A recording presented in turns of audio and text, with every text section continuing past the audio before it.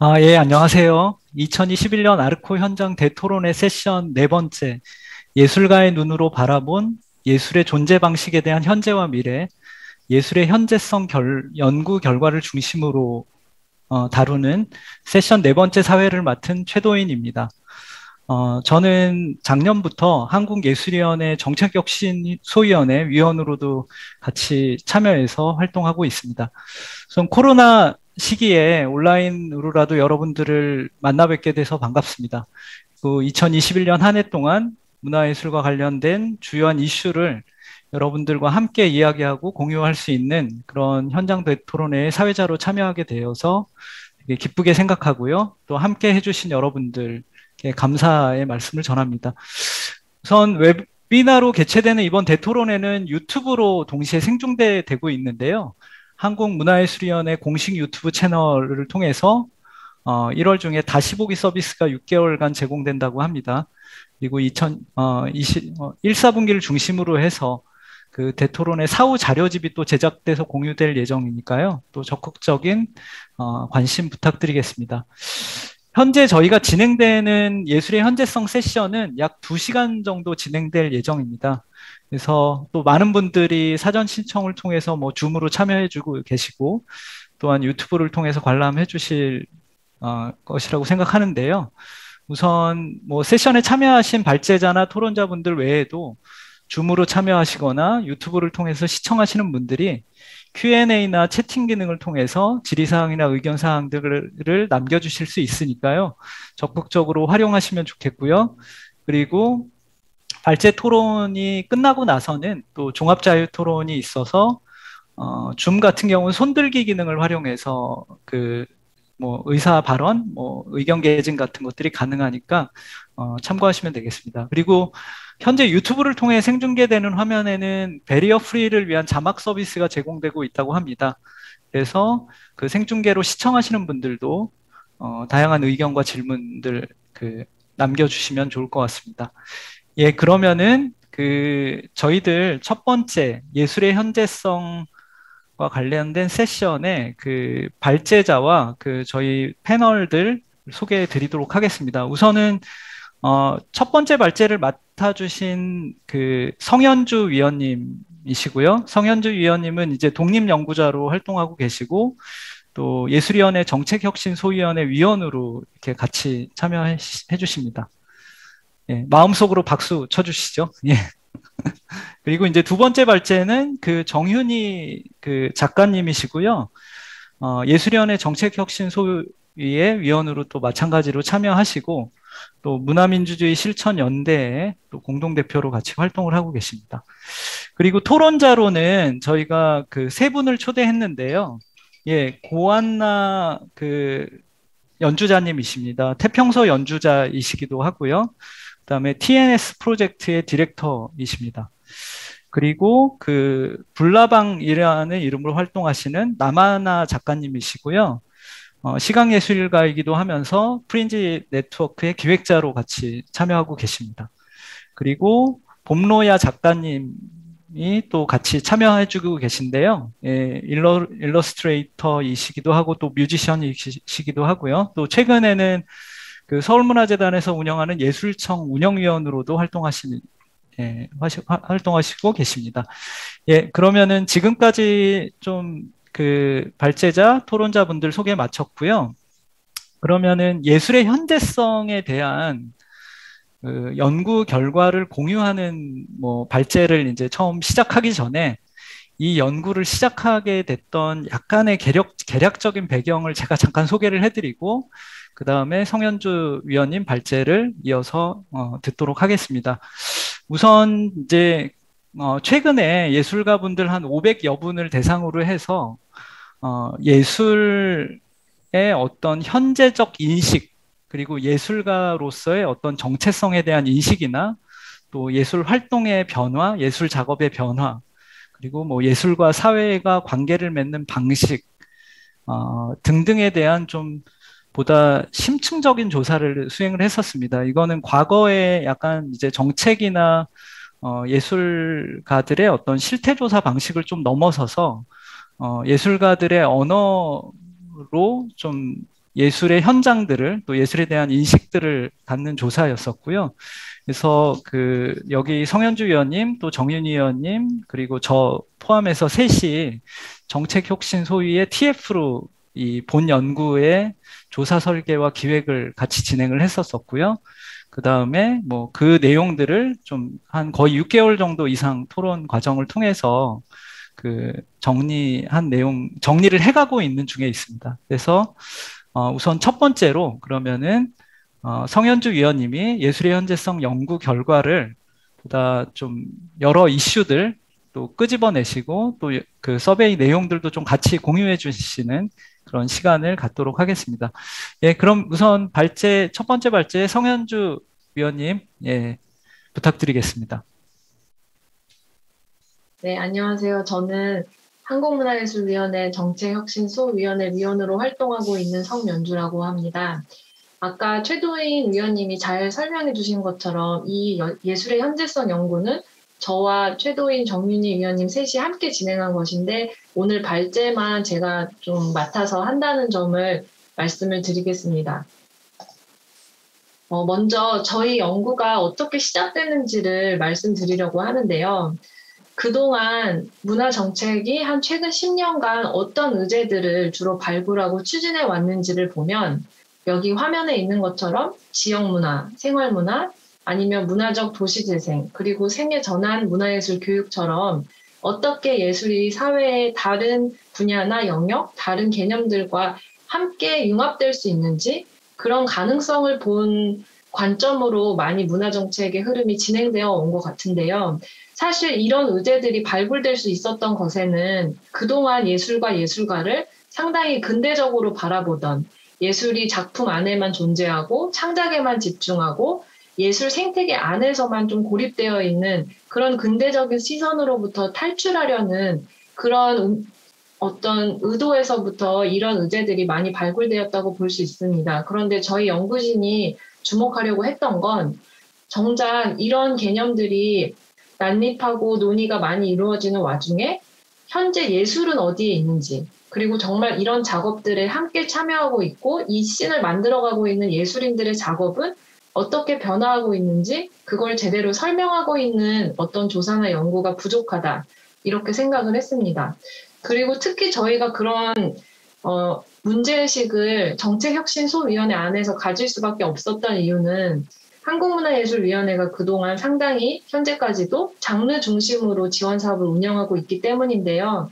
여기 화면 왼쪽에 있는 문화예술진흥법은 제가 이제 문화예술에 관련된 정의를 가지고 왔어요. 아마 조금이라도 관심 있는 분이라면 예술인 분들도 아마 이 정의가 상당히 익숙하실 거라고 생각합니다.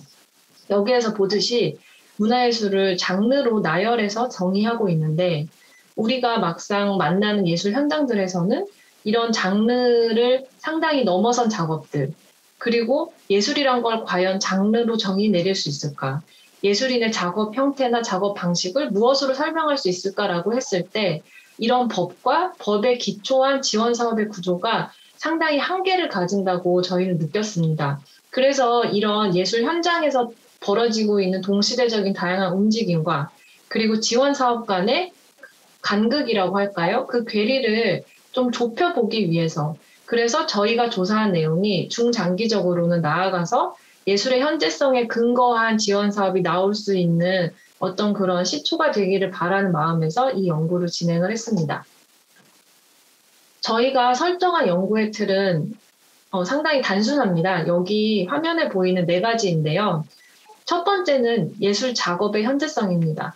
저희가 이제 연구 논의를 하면서 예술의 정의에 대한 현재성을 말을 할지 아니면 예술인 자체의 작업, 어, 예술인이라는 정체성의 어떤 현재성에 대해 논의할지 많은 이야기가 있었는데요. 저희는 그 가장 기초가 되는 것이 결국 예술인들의 작업을 어떻게 설명할 것인가라는 그 현재성의 질문으로 출발할 수 있다고 봤습니다. 그래서 뒤에 설명드리겠지만 저희 설문조사에서 가장 핵심을 이루고 있는 부분이 예술 작업에 대한 질문들이고요.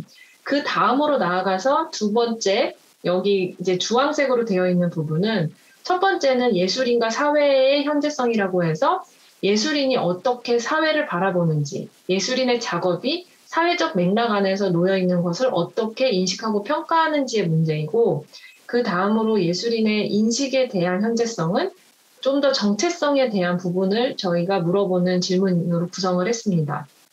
그리고 저희는 이 세 가지 예술 작업에 기초한 두 가지의 현재성, 그리고 이 세 가지의 현재성의 항목들이 모두 종합되어서 한국문화예술위원회의 현재성이 구축이 된다고 어, 가정하였는데요. 여기에서 저희가 보려고 한 현재성은 한국문화예술위원회의 지원 방식이 어떤 방향으로 나아가야 하는지, 그리고 한국예술, 한국문화예술위원회가 어떤 파트너십을 예술인들과 맺어야 하는지 그런 부분으로 저희가 설문을 구성을 했습니다.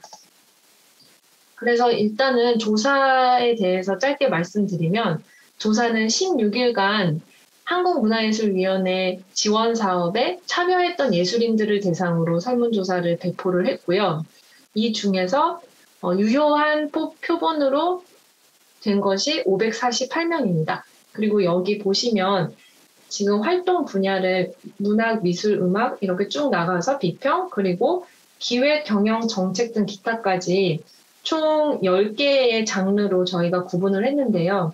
원래는 저희가 500명을 목표로 한 장르당 50명을 목표로 모집을 하려고 하였는데 아무래도 어, 현재 아르코가 주로 관계 맺고 있는 어떤 지원 사업에 참여 예술인이 공연 예술 장르의 비중이 좀 더 높다 보니까 자연스럽게 그렇게 비중을 조정하는 과정에서 음악과 연극 장르가 조금 더 비중이 높아지게 되었습니다.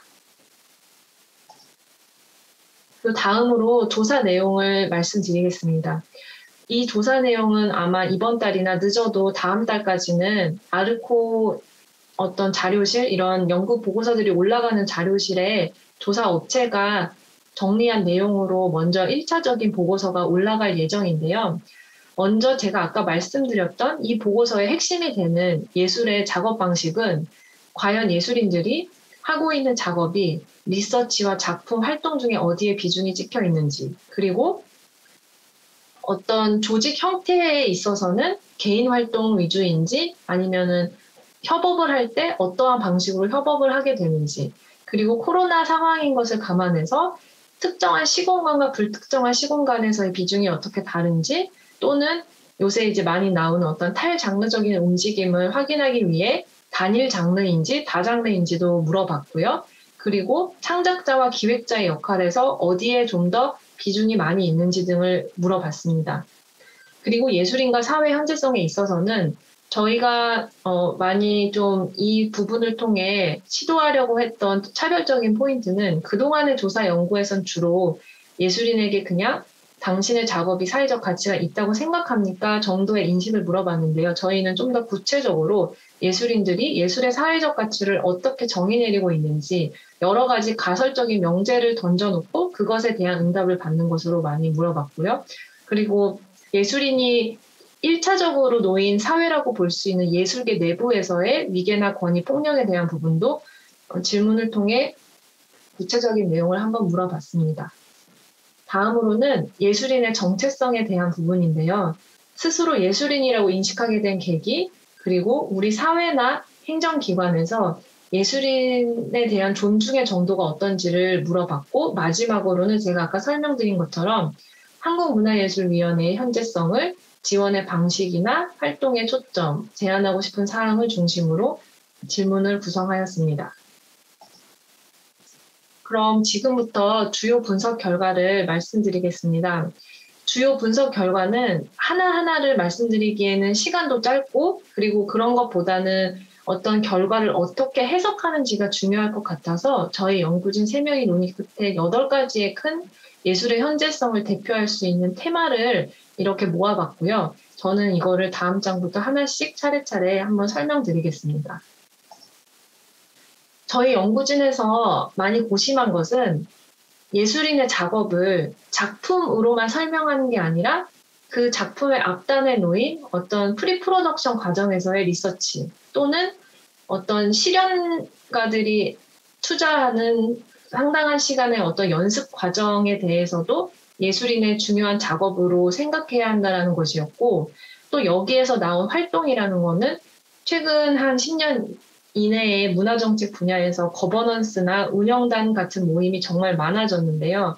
이런 곳에서의 참여나 혹은 예술인의 권익 투쟁 같은 것이 실제로 예술인들의 작업에서 어느 정도의 비중을 차지하는지 어, 살펴보기 위해서 이 질문을 구성하였습니다. 다시 말씀드리자면 저희한테는 먼저 이 문항이 수치가 어떻게 나오느냐는 것도 있지만 예술인의 작업을 작품과 활동과 리서치의 세 가지로 개념화한 것이 조금 더 새로운 시도였다고 봤는데요. 그랬을 때 지금 보시면 최근 예술 작업에서 작품이 39.9%로 가장 비중이 높긴 하지만 리서치의 비중이 거의 비슷하고 또 활동의 비중도 23.2%로 전혀 적은 수준이 아니라는 것을 확인하실 수 있습니다. 그리고 이 문항은 현재 예술인의 작업의 비중을 물어봤고요.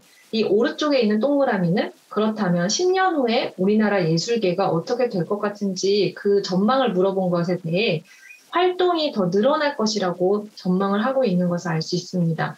이걸 통해 앞으로는 활동이나 리서치가 곧 그들의 예술 작업으로 대표되는 때가 오지 않을까 저희는 이런 생각을 해봤고 그런 점에서 특히 다원 예술이나 아니면 미술 그런 장르에서는 더욱 리서치나 활동의 비중이 상당히 높았는데요. 이미 그런 장르에서는 자신이 하는 활동이 곧 작품이고 작품이고 활동인 그런 분리하기 어려운 종류의 작업들이 많아지고 있는데 과연 이런 부분을 우리의 예술 지원 사업 체계 안에서 어떤 방식으로 포용하고 담을 수 있을지에 대해서 오늘 토론자 분들께서도 좋은 의견을 주시면 좋을 것 같다는 생각을 해봤습니다. 두 번째는 유연한 협업의 확장인데요. 흔히 어, 예술인의 활동은 여기 문학 장르에서 상당한 비중으로 나온 것처럼 개인적으로 그냥 예술인으로서의 활동을 하거나 아니면 어떤 극단이나 오케스트라나 어떤 단체에 정규 소속되어서 활동을 하는 것으로 인식되고 있었는데 최근 보이는 예술의 현재성의 변화로 저희 연구진은 느슨한 관계에 기반한 유연한 협업이 상당히 증가하고 있는 것을 어, 발견하였고 그것을 한번 설문을 통해 확인해 보고자 했습니다. 그렇게 확인했을 때 실제로 23.6%로 유연한 협업의 비중이 적지 않은 수준을 나타냈고요. 특히 이 수치는 10년 후의 전망에서 거의 10%포인트 증가할 것으로 예상하고 있고, 이랬을 때 정규 소속 단체 활동을 훨씬 상회하는 수준입니다. 그런 걸 봤을 때 앞으로 유연한 협업에 기반한 어떤 작업들이 더 많아질 것이라고 예측을 할 수 있습니다. 그리고 실제로 지금도 아르코의 지원 사업을 보면 어떤 사업은 지원할 수 있는 대상이 개인이나 단체로만 되어 있는 게 아니라 프로젝트 그룹이라는 어, 대상군을 새롭게 개념화해서 어, 지원할 수 있게 하고 있는 것을 저도 확인을 했는데요. 앞으로는 아마 이런 프로젝트성 그룹이 더 예술 현장에서 많아질 것이라는 걸 알 수 있고, 그리고 여기 제가 동그라미 친 세 개 장르는 아까도 활동의 비중이 높은 장르라고 말씀드렸는데, 이 장르들이 또 유연한 협업을 상당히 많이 하고 있는 장르인 것으로 확인이 됐습니다. 다음으로 작품을 통한 예술가와 사회의 소통입니다. 저희는 예술의 사회적 가치에 대해서 두 가지 질문을 던졌는데요. 왼쪽은 예술의 사회적 가치를 이런 네 가지의 명제로 가설을 던져놓고 이것에 대해 무엇이 가장 맞다고 생각하는지 응답을 하라는 어떤 질문이었고, 오른쪽은 이런 예술의 사회적 가치를 알리는 것이 과연 누구의 역할인가 에 대한 질문이었습니다. 사실 저희가 이 질문을 만들면서 고민했던 점은 예술 현장에서는 이런 말이 많이 있습니다. 지원 사업 신청서를 넣을 때 너무 과도하게 예술의 사회적 가치를 증명하도록 한다. 그래서 저희가 연구진이 추측했던 건 어, 그렇다면 예술인들은 사회적 가치를 알리는 것은 조금 더 예술 지원 기관이나 연구자들의 역할이라고 생각하지 않을까? 뭐 그런 생각들을 하면서 과연 이 질문에 어떤 응답이 나올지 궁금하면서 그 진행을 해보았는데요.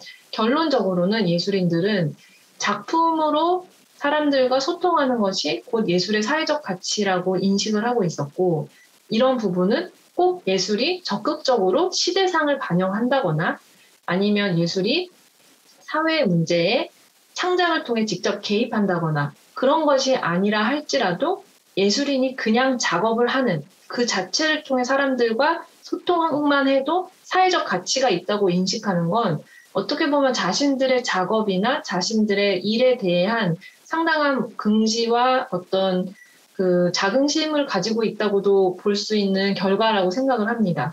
그리고 또 여기에서 예술의 사회적 가치를 알리고 표현하는 것 또한 다른 사람이 대신 해주는 것이 아니라 예술인의 역할이라고 본 것 역시 어, 지원 사업의 어떤 시스템 안에서는 사회적 가치라는 말이 조금 강조되는 것, 강요되는 것처럼 느껴질지언정 실제 예술인들은 자신이 왜 이 작업을 하는가라고 보면 결국 사회 속에서의 긴밀한 소통을 위해서 작업을 하고 있다는 것으로 해석할 수 있을 것 같습니다.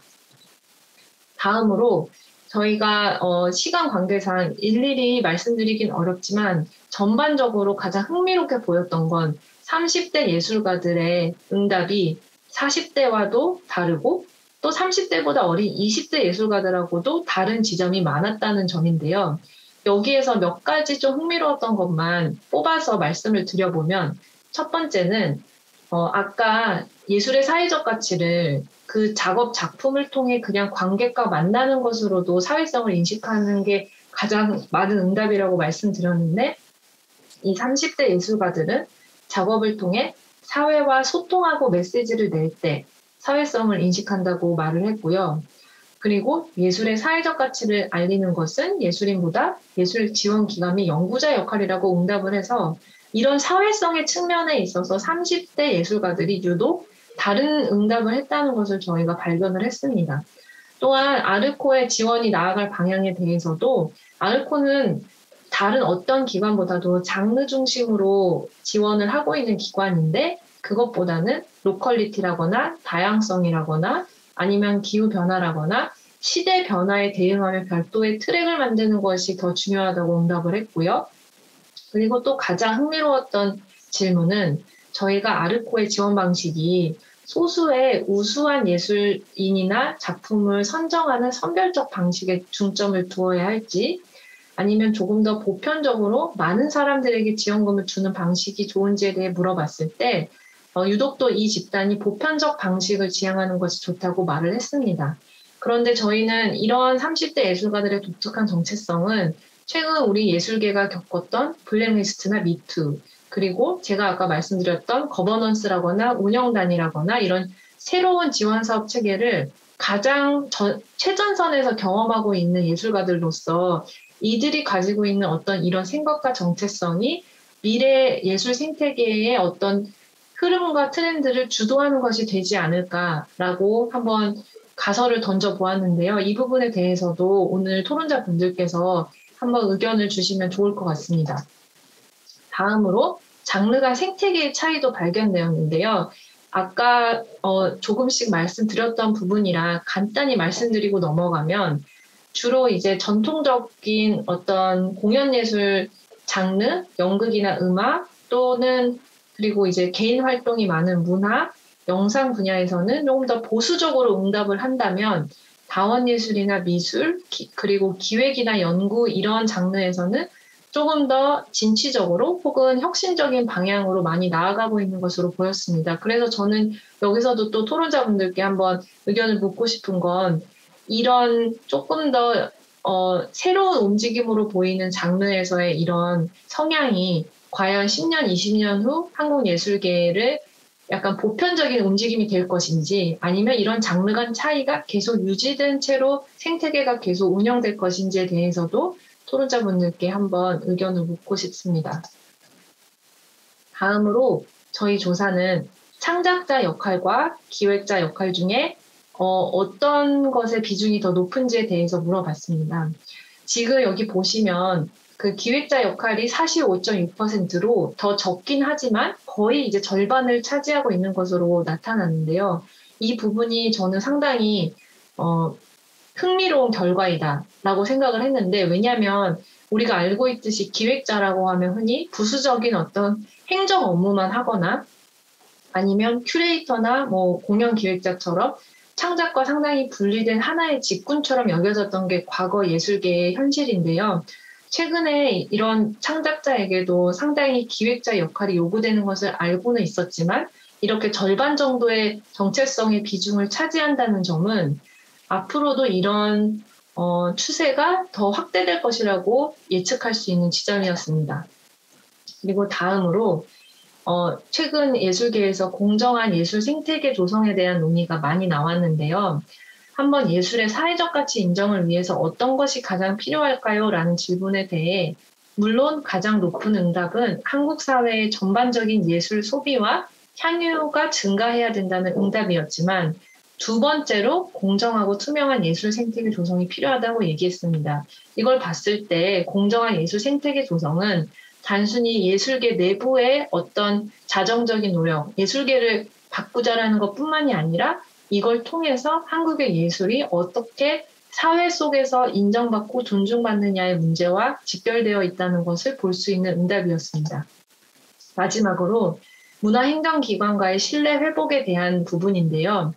문화행정기관이 예술가를 존중하고 배려하는지를 물어봤을 때 가장 응답이 높았던 것이 기관에 제출하는 서류에 예술 작업의 특성을 반영을 할 수 있는지 없는지의 여부, 그리고 내가 하고 싶은 작업과 작품의 지원 사업이 나왔을 때였습니다. 이걸 봤을 때 제가 어, 해석하는 거는 최근 블랙리스트 이후에 문화행정기관의 신뢰 회복에 대한 문제는 주로 심사 과정에 한해서 많이 이야기가 나오는 것 같습니다. 그렇지만 그런 것보다는 우선 지원 사업의 설계 전반이 예술 현장에서 요구하는 바를 잘 반영하고 있는지, 그리고 특히 어떤 그런 제출 서류가 정말 내가 차별화한 어떤 작업적인 특성들을 잘 반영할 수 있는 형태인지 그런 점이 상당히 중요한 것으로 발견되었고 그래서 문화행정기관과의 신뢰 회복을 위해서는 예술 지원 사업의 구조 전체에 대한 어떤 재조명 아니면 다시 재구조화하는 작업이 필요하다는 것을 제안하였습니다. 네, 그래서 마지막으로 질문을 던지면서 이 발표를 좀 마무리하고 싶은데요. 이 조사는 예술의 현재성에 대해서 어떤 결론을 내리려기보다 그렇기 때문에 우리나라의 예술계 또 아르코가 어떻게 나아가야 하는지에 대해서 사실 더 많은 질문거리를 만들고자 했던 연구였습니다. 그래서 과연 이렇게 변화하고 있는 현재성에 대응해서 아르코가 잘 나아가고 있는 것인지 그리고 현장과 괴리되지 않은 지원을 펼치기 위해서는 어떤 점을 우선시해야 되는지, 그리고 또 궁극적으로 이런 문화행정기관과 예술인의 이상적인 파트너십이란 무엇일지에 대해서 토론자 분들께도 한번 어, 의견을 나눠주실 걸 부탁드리면서 제 발표를 마치겠습니다. 예, 발제 감사합니다. 그, 예, 지금 두 번째 발제 맡으신 정윤 의원님이 박수를 치고 계신 게 영상으로 좀 보여지고 있는데요. 그 첫 번째 발제에서는 그 예술의 현재성 연구가 어 한 25개 정도의 문항에서 굉장히 자세하게 장르별 또 약간 뭐 작업의 연차별, 뭐 세대별 뭐 이런 교차 분석들도 다양하게 좀 할 수 있는 데이터들이 나왔는데요. 아무래도 어, 자세한 연구 내용은 1월 달에 이제 보고서가 나올 테니까 그 자세한 내용을 좀 살펴보시면 될 것 같고 그 성현주 위원님께서는 주로 8가지에 대한 좀 그 발견된 사실 그리고 의견을 중심으로 해서 설명을 해 주셨습니다. 그러면은 두 번째로 어, 예술의 현재성 진단에 따른 정책과 제도적 과제에 대해서 어, 같이 본 연구에 참여하셨던 정윤희 작가님께서 예, 두 번째 발제를 어, 시작하도록 하겠습니다. 네, 발제 부탁드리겠습니다. 네. 어, 저는 음, 직업은 미술 작가고요. 그리고 이제 아까 말씀해 주셨지만 연구도 좀 병행하고 있고 문화민주주의 실천연대에서 이제 예술인의 권리라던가 블랙리스트와 혹은 이제 어떤 블랙리스트로 촉발된 어떤 예술 정책과 제도 문제에 대해서 좀 개입을 하고 있어요. 그러다 보니까 제가 이 예술의 현재성 연구가 굉장히 필요했다고 생각한 이유는 지금 현재 현장에서 작업을 하고 있는 그 예술가들의 작업 양태들이 파악이 되는데 이런 게 사실 이제 지원 사업에서 굉장히 분절적으로 이제 반영이 되기 때문에 이런 것들을 좀 개선할 수 있는 어, 그런 좀 데이터, 근거들이 좀 필요하다라고 생각을 했고, 저도 이, 이런 그냥 막연한 이런 생각 속에서 좀 시작을 하면서 성현주 위원님과 이제 최도희 위원님과 한 6개월간 또 설문을 또 만들어내고 이제 방향성을 잡아내면서 또 이제 예술가 분들과 FGI 또 하면서 좀 방, 이, 이런 것들에 대한 진단이 꼭 틀리지만은 않았다 이런 생각이 들었고요. 또 이제 제목이 굉장히 딱딱한데 이 제목이 딱딱한 이유는 우리가 발견하는 그 예술의 현재성이라고 하는 진단이 아르코의 어떤 정책과 과제에 실질적으로 좀 반영이 돼야 된다라고 하는 분들의 강한 의지가 있습니다. 그래서 제가 이것들을 진단하기 위해서는 아까 성현주 선생님께서 이제 말씀해 주셨던 예술의 현재성 진단의 주요한 테마들을 좀 중심으로 봤고요. 그것들과 혹은 몇 가지 범주를 더해서 아르코의 혁신 의제라는 것이 있습니다. 그러니까 블랙리스트 이후에 아르코가 예술계와 뭐 국민과의 신뢰를 회복하고 내부적으로도 이제 정책적인 어떤 변환, 조직적인 변환 이런 것들을 하기 위해서 아르코의 혁신 과제를 세웠고요. 그런 것과 예술의 현재성에서 진단되고 있는 지점들을 좀 비교를 했습니다. 그래서 상관관계를 연결 지어봤고요. 그리고 거기서 비어 있는 부분들에 대해서 정책 과제를 좀 도출을 했습니다. 그랬을 때 여기서 좀 심층적으로 들어가야 될 부분들은 예술을 둘러싼 정책적인 환경, 그리고 동시대 예술의 어떤 패러다임이라던가 예술계, 예술인의 경험과 인식.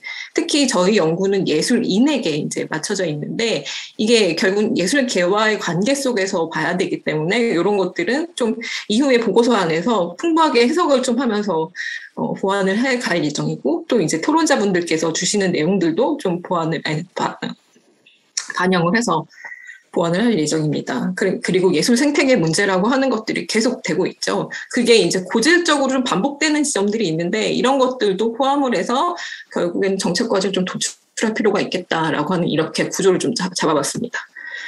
어, 근데 제가 이제 정책과 제도를 말씀드리기 때문에 결국에는 좀 말씀드려야 되는 건 정책 환경이 지금 어떠한가인 겁니다.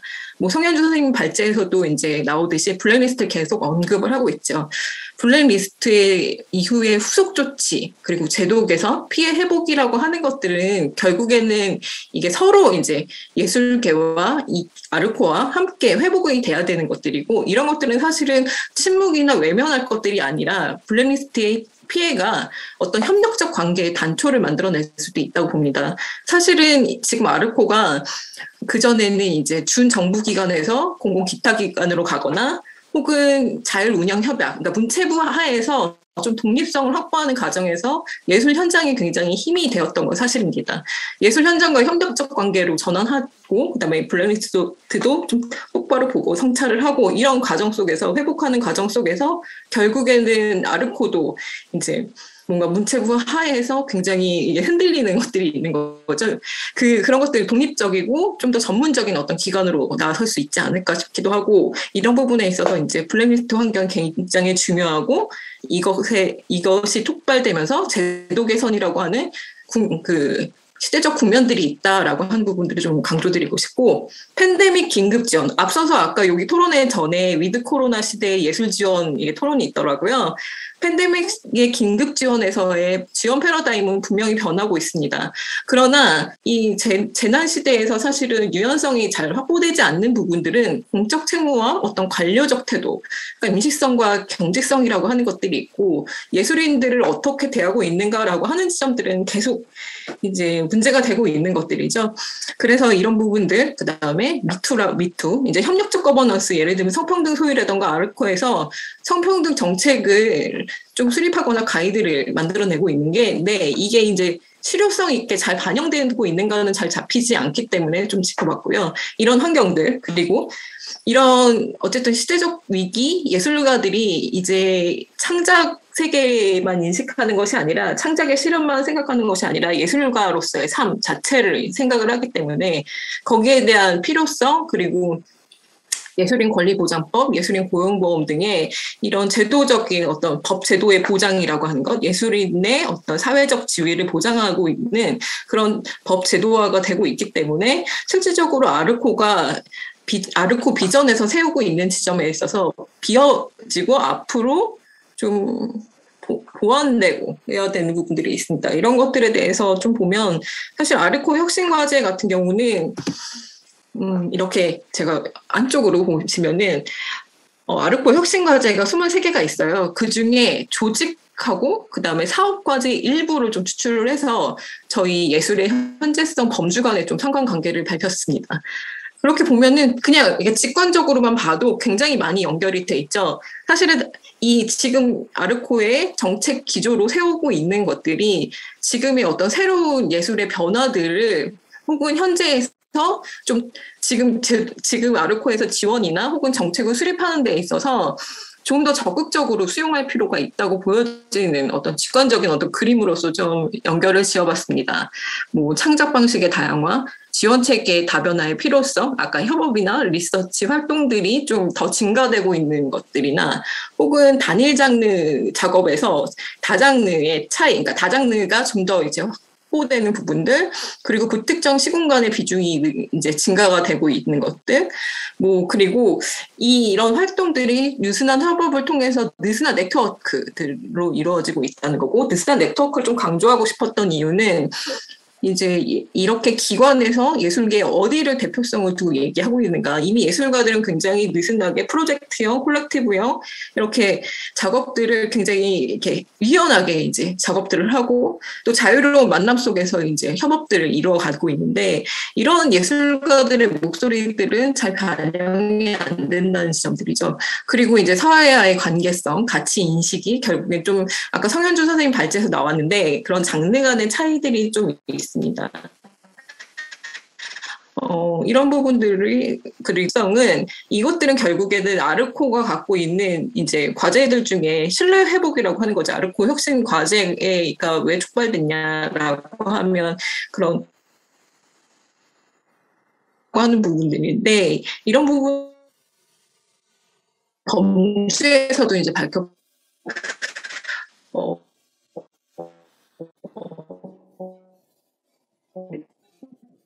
그러니까 니즈 증가는 어, 아르코가 주로 이 작품의 우수성이라던가 뭐 그런 수월성 이런 것들을 중심 중심으로 아주 운영되고 있기 때문에 특히 이 저희 이제 이 연구에서의 대부분의 이, 대, 그러니까 응답에 어, 응답을 해주신 분들이 30대, 40대 많거든요. 그리고 20대 그 순위이기 때문에 앞으로 이제 예술의 경향의 변화나 혹은 인식들이 좀 차이가 있겠다라고 하는 거고요. 저는 이렇게 해서 다섯 가지를 과제를 좀 만들었습니다. 사회자님 저 몇 분 남았어요?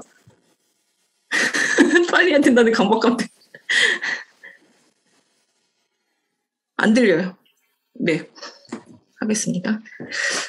어, 이 예술의 어떤 다양, 그러니까 장르, 탈장르, 뭐 그리고 실험성 이런 것들 되게 다양하게 변하고 있는 거죠. 이게 작업이야. 그러니까 예술 작업이나 리서치 활동, 리서치나 활동의 비중이 늘어나고 활동으로 봐도 예를 들면 그러니까 창작을 기반으로 하는 활동이 있고 아예 예술가로서 자신의 어떤 삶의 조건과 관련된 의제 활동, 중심의 활동들도 있습니다. 그런 활동들이 예술가의 어떤 삶의 어떤 방식들 그리고 어, 창작을 위한 활동들이기 때문에 이런 것들을 좀 수렴할 수 있는 지원 체계로서의 좀 변화가 필요하다. 그리고 이제 창작자, 기획자의 복합적 정체성, 예술가 사이의 유연한 협업이 증가되고 있죠. 이게 사실 다원 예술 아르코 2022년에 여기 녹색으로 이렇게 박스를 쳐놓은 것을 보면은 아르코 문해 장 문예진흥기금 그 가이드에서 보면 다원 예술 분야에서 좀 발췌를 한 건데 예술의 다양한 시도에 대한 존중과 지원을 통해서 새로운 예술과 창작 경향을 견인하기 위해서 기존 장르로 규정할 수 없는 다원적 예술, 기존 장르별 지원 체계에 포함되지 않은 새로운 창작 유형에 대한 지원 이렇게 밝히고 있습니다. 그런데 이 아래에 제가 좀 써놓은 거는 사실은 이것들에 대한 정의나 이런 사업들이 만들어졌다는 건 굉장히 중요한데요.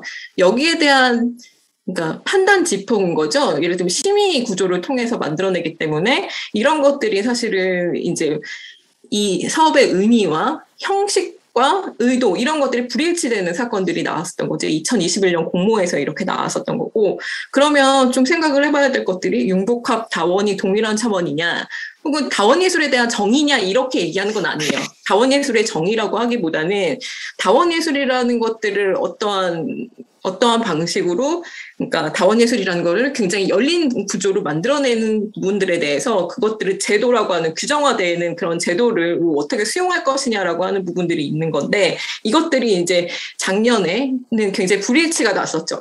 그렇다면 이런 지원과 정책이라고 하는 것들을 결국엔 그 과제라고 하면 이런 것들을 공론화, 이런 문제들이 생겼을 때 공론화하고 이거 거기에 대한 의견을 수렴하고 이거를 좀 유형화할 필요가 있고 그것들을 제도화하고 문제가 생겼을 때 수정 보완을 하고 이러면서 이제 방법들을 찾아가야 되는 것들이 있고 그다음에 또 이렇게 다원성을 이제 수렴할 수 있는 지원 체계에서 저는 중요하게 보고 있는 거는 어떤 통합적인 지원이라고 하는 부분들, 뭐 이게 아까 리서치 활동 작품 이런 거에 대해서 따로따로 구분할 것이냐 아니면 통합으로 갈 것이냐 뭐 이런 부분들 그리고 플랫폼 지원이라던가 보편적 지원이라고 하는 것들을 모색해 볼 수 있는 것들이라고 생각을 합니다.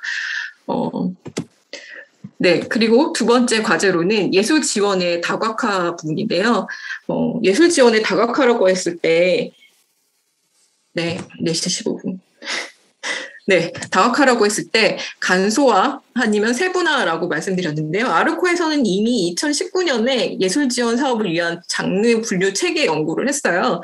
그래서 예를 들면 간소화하는 방식의 그 이제 장르 아니 간소화하는 방식의 어 설정이라던가 혹은 세분화하는 부분에 있어서 이제 장 사례들을 이제 모아놓고 있는 연구들을 했었죠. 그렇다라고 하면은 이런 것들이 어, 어쨌든 그 공적 기금을 제대로 분배를 하고 예술의 어떤 변화되는 양태, 풀 패러다임을 잘 반영할 수 있는 부분에 있어서의 좀 공론화들이 필요하겠다라고 하는 거고요. 지금 현재 그 선별적으로 지원이 이루어진 수월성이 좀 강조되고 선별적 방식으로 이루어진 지원에서도 지표와 준거가 좀 재정립되어야 될 필요가 있지 않냐. 왜냐하면 거의 신뢰가 무너진 거죠. 뭐가 전문적이고 뭐가 우수한 거냐. 뭐 이런 이런 얘기가 굉장히 있는 거잖아요. 여기에 대해서 좀 준거가 재정립되어야 되는 것들이 있다라는 거고 경영 5년 에서 10년 예술인의 인식 은 미래 예술 정책 방향 설계가 좀 필요하다라고 하는 거고 그래서 그 성윤재 선생님께서 잘 설명 좀 해주셨는데 결국에는 55년에서 10년 사이의 예술가들은 청년 정책이라고 하는 것들이 경험을 했고 거버넌스를 통해서 공공기관과 파트너로서 좀 긍정적 관계를 가졌었던 그런 경험들이 있고 좀 지원 사업에 좀 특화된 전략을 좀 구사한다라고 하는 것들을 파악할 수 있었습니다. 예를 들면 주제나 트렌디한 주제나 혹은 확실한 역할 분담, 책임 소재의 문제 그리고 collective 형태의 뉴스나 네트워크, 안전한 창작 생태계에 좀 관심이 있다는 것인데요. 이런 것들에 대해서 어쨌든 이 여기 이게 5년에서 10년 사이 예술인의 인식이라고 하는 것들이 왜 촉발되고 있느냐라고 하는 부분들은 예술 생태계 지원과 굉장히 어, 연관되어 있다고 봅니다. 그 30대 예술 생태계 경험과 인식이 다르고 장르 간의 경험 인식 차이, 그리고 예술사회의 관계, 작업 방식, 예술관 이게 결국엔 예술가의 창작에 굉장히 영향을 미치고 있는 거고 오른쪽의 그림을 보시면 예술계 위계 권리 폭력, 폭력으로 예술 창작에 영향을 받고 있다라는 것들을 어, 확인하실 수 있는 내용입니다. 그래서 예술 생태계의 어떤 공정성과 투명성에 대한 인식이라고 하는 것들이 공론화나 사회적 합의나 제도화가 필요한데 여기에 대한 정책이 사실은 명확하게 보이지 않아요. 아마 아르코 대토론을 통해서 어, 지금 뭐 현장 소통 소위라던가 아르코에 어, 결국에 현장과 소통하면서 어, 문제 해결을 좀 상호 협력적으로 풀어가는 부분에 있어서 모색을 하고 있지만 사실 굉장히 소극적이라고 보여지고 이런 방식에 대해서는 좀 필요하다고 생각, 그러니까 그 이제 정책적인 접근으로 가야 된다라고 생각을 합니다. 예술인의 어떤 아르코와 예술 현장의 협력적 관계 형성과 동반 성장 그리고 문제 해결력의 상호 협력적 관계를 지향을 하는 것을 봤을 때는 결국엔 협 력적 관계라고 하는 것을 봤을 때 예술 주체의 성장과 도약이라고 하는 부분들에 대한 지원 좀 간, 통하는 가차 철학이라고 하는 게 있느냐 과연 그리고 아르코의 조직이라고 하는 것들이 어떤 목록화된 어떤 과제들, 정책들을 수, 수렴하면서 가느냐라고 하기보다는 아르코의 내부에 있는 이제 주체들이죠. 뭐 사무국이라던가 뭐 전문위원이라던가 던가 이런 분 이런 결정 구조 의사 결정 구조 내부에 있는 사람들의 어떤 가치와 철학이라고 하는 부분도 좀 고민을 해야 되는 것들이고 예술인 주체가 어떤 협력적인 관계로 가기 위해서도 예술인 주체에 대한 교육도 필요하다고 생각합니다. 예술인 권리보장법 제정 이후의 기관의 역할이라던가 이런 것들은 이후에 17일 토론에서 있는 걸로 알고 있고 마지막으로 예술 그러니까 그 아, 예술이 가, 가치 확산이라고 하는 건 결국에는 아르코 비전에서 따, 온 건데 예술의 가치 확산이죠. 예술의 예술의 사회적 관계라고 하는 건데 아까 성현주 선생님께서 발제해 주셨던 내용이 있는 거죠. 어쨌든 예술가들이 사회 작품을 통해서 사회로 소통하는 부분들이 있고 스스로 예술과 사회와의 관계를 갖고 있다, 사회적 의미가 있다라고 생각을 하고 있기 때문에 그 따로 예술의 사회적 가치와 관련된 사업을 하는 것이 아니라 이 가치들을 잘 조명해 주는 것이 필요하다고 생각합니다. 그러니까 예를 들면 보편적 직업인으로서 예술인의 사회적 가치 지표를 발굴한다던가 혹은 여러 가지 이제 소셜 임팩, 임팩트라던가 혹은 사회적 가치 지표와 관련된 연구들도 있고 실제로 지금 예술 계속 진행이 되고 있다라고는 생각을 하는데 그게 명백 명확하게 드러나는 것들이 없는 거죠. 그리고 예술 창작 생산과 소비 순환 구조 이, 이 과정에서 이제 기관과 협력을 하게 될 것인데 이런 안에서 이제 생태계 문제하고 연결, 생태계 조성의 문제하고도 연결이 된다고 생각합니다. 그리고 정부 부처와 국회의 예술의 중요성 전략 뭐 이런 건데 예술이라고 하는 것들이 어떻게 인식하고 있냐 향유 지원과 예술의 상품성에 초점을 두고 체험 경제 산물로서 좀 인식하는 거 아니냐 약간 비판적으로 보자면은 뭐 이런 이미 다 내부적으로 파악하고 있는 지점이지만 이런 것들에 대한 중요성에 대한 주요 전략들이 없는 거죠. 여기에 대한 담론도 부재하고 그렇기 때문에 이런 다섯 가지 이제 과제를 좀 제가 제안을 드렸 드려봤습니다. 제가 너무 이제 시간이 없어서 그 대충 이제 말씀드렸는데 토론자분들께서 여기에 추가한 좋은 내용들, 아니, 추가할 내용들을 좀 담아주시면은 어, 반영을 해서 잘 해보도록 하겠습니다. 네, 마칩니다. 아, 예. 네, 마음속으로 우선 박수를 보내겠습니다. 네, 두 번째 발제 정윤희 위원님 시간 잘 맞춰주셔서 어, 맞춰주셔서 감사하고요. 어, 특히 그 예술의 현재성 연구의 여러 데이터들을 통해서 그 한 다섯 가지 정도의 과제를 제안해 주셨습니다. 그래서 그간 논의됐던 예술위원회 혁신 의제와 연관된 예, 그런 부분들과 예, 연관해가지고 이렇게 매칭을 하면서 예, 해주셨습니다. 예, 그러면은 이제 첫 번째, 두 번째 발제를 종합적으로 마쳤고요. 그 세 분의 토론자 분들과 대화를 나누는 시간들을 그렇게 갖도록 하겠습니다. 그래서 우선 첫 번째로는 이 예술의 현재성 연구라고 하는 부분들이 사실은 기존의 뭐 선행적 연구와 좀 좀 다른 차원에서 진행을 했었기 때문에 그런 예술의 현재성 연구의 과정에서 또 뭐 고한나 연주가님이나 또 남하나 기획자님 이렇게 같이 좀 중간중간 저희들이 뭐 설문을 구성하거나 또한 그 설문을 분석하는 과정에서 뵀었습니다. 그래서 좀 종합적으로 예술의 연구성, 어, 현재성 연구 취지에 대한 뭐 또 그리고 종합 분석 또 지금 발제 내용에 대한 좀 총론적인 코멘트를 어, 좀 부탁드리겠습니다. 그래서 먼저 예, 고한나 연주가님부터 해서 이렇게 남하나 작가님 그리고 봄로야 작가님 순으로 먼저 약간 총론적인 얘기 이렇게 먼저 듣도록 하겠습니다. 네, 안녕하세요. 저 태평소 신의 연주자 고한나라고 하고요. 오늘 연구 발표 잘 들었습니다.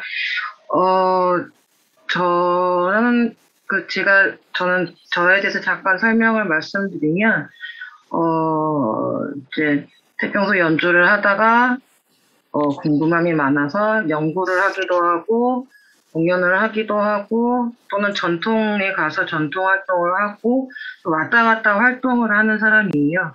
그런 사람으로서 이제 이런 연구를 봤을 때 굉장히 많이 반가웠어요. 그러니까 제가 혼자 작업을 할 때는 그러니까 비슷한 작업을 하는 사람들을 만나기가 어렵고 어, 여기 결과에도 있긴 했지만 음악이나 이런 뭐 분야들 같은 경우는 약간 폐쇄성이 있어가지고 다른 연주자들이거나 어, 활동하는 사람들을 많이 만나기가 조금 힘들었고 제가 또뭐 국악계나 음악계에서 활동하지 않았었기 때문에 더 그랬었는데 이런 연구들을 보면서 어, 음, 뭐 이렇게 뭐 위로받는다라는 느낌도 들기도 하고 어, 이렇게 연구해 주셔서 감사하다는 생각도 들고 그래서 일단 일단 감사하다는 말씀을 드리고요. 그리고 또 하나 보면서 재밌었던 거는 이제 저는 이제 30대에서 40대로 넘어가는 시점의 사람입니다. 그래서 그 이 30대의 지점은 저랑 어떤 게 연관이 되어 있나 또는 또 40대가 돼가면서 어떻게 또 뭐 예술 활동을 해야 되나 이런 고민들을 조금 했었고요. 그래서 뭐, 네, 그, 일단, 감사하다는 말씀을 먼저 드리고, 네, 다른 분께 있던 먼저 어, 총평도 부탁드리겠습니다. 네. 그러면은 남하나 작가님 이어서 얘기해 주시면 좋겠습니다. 네.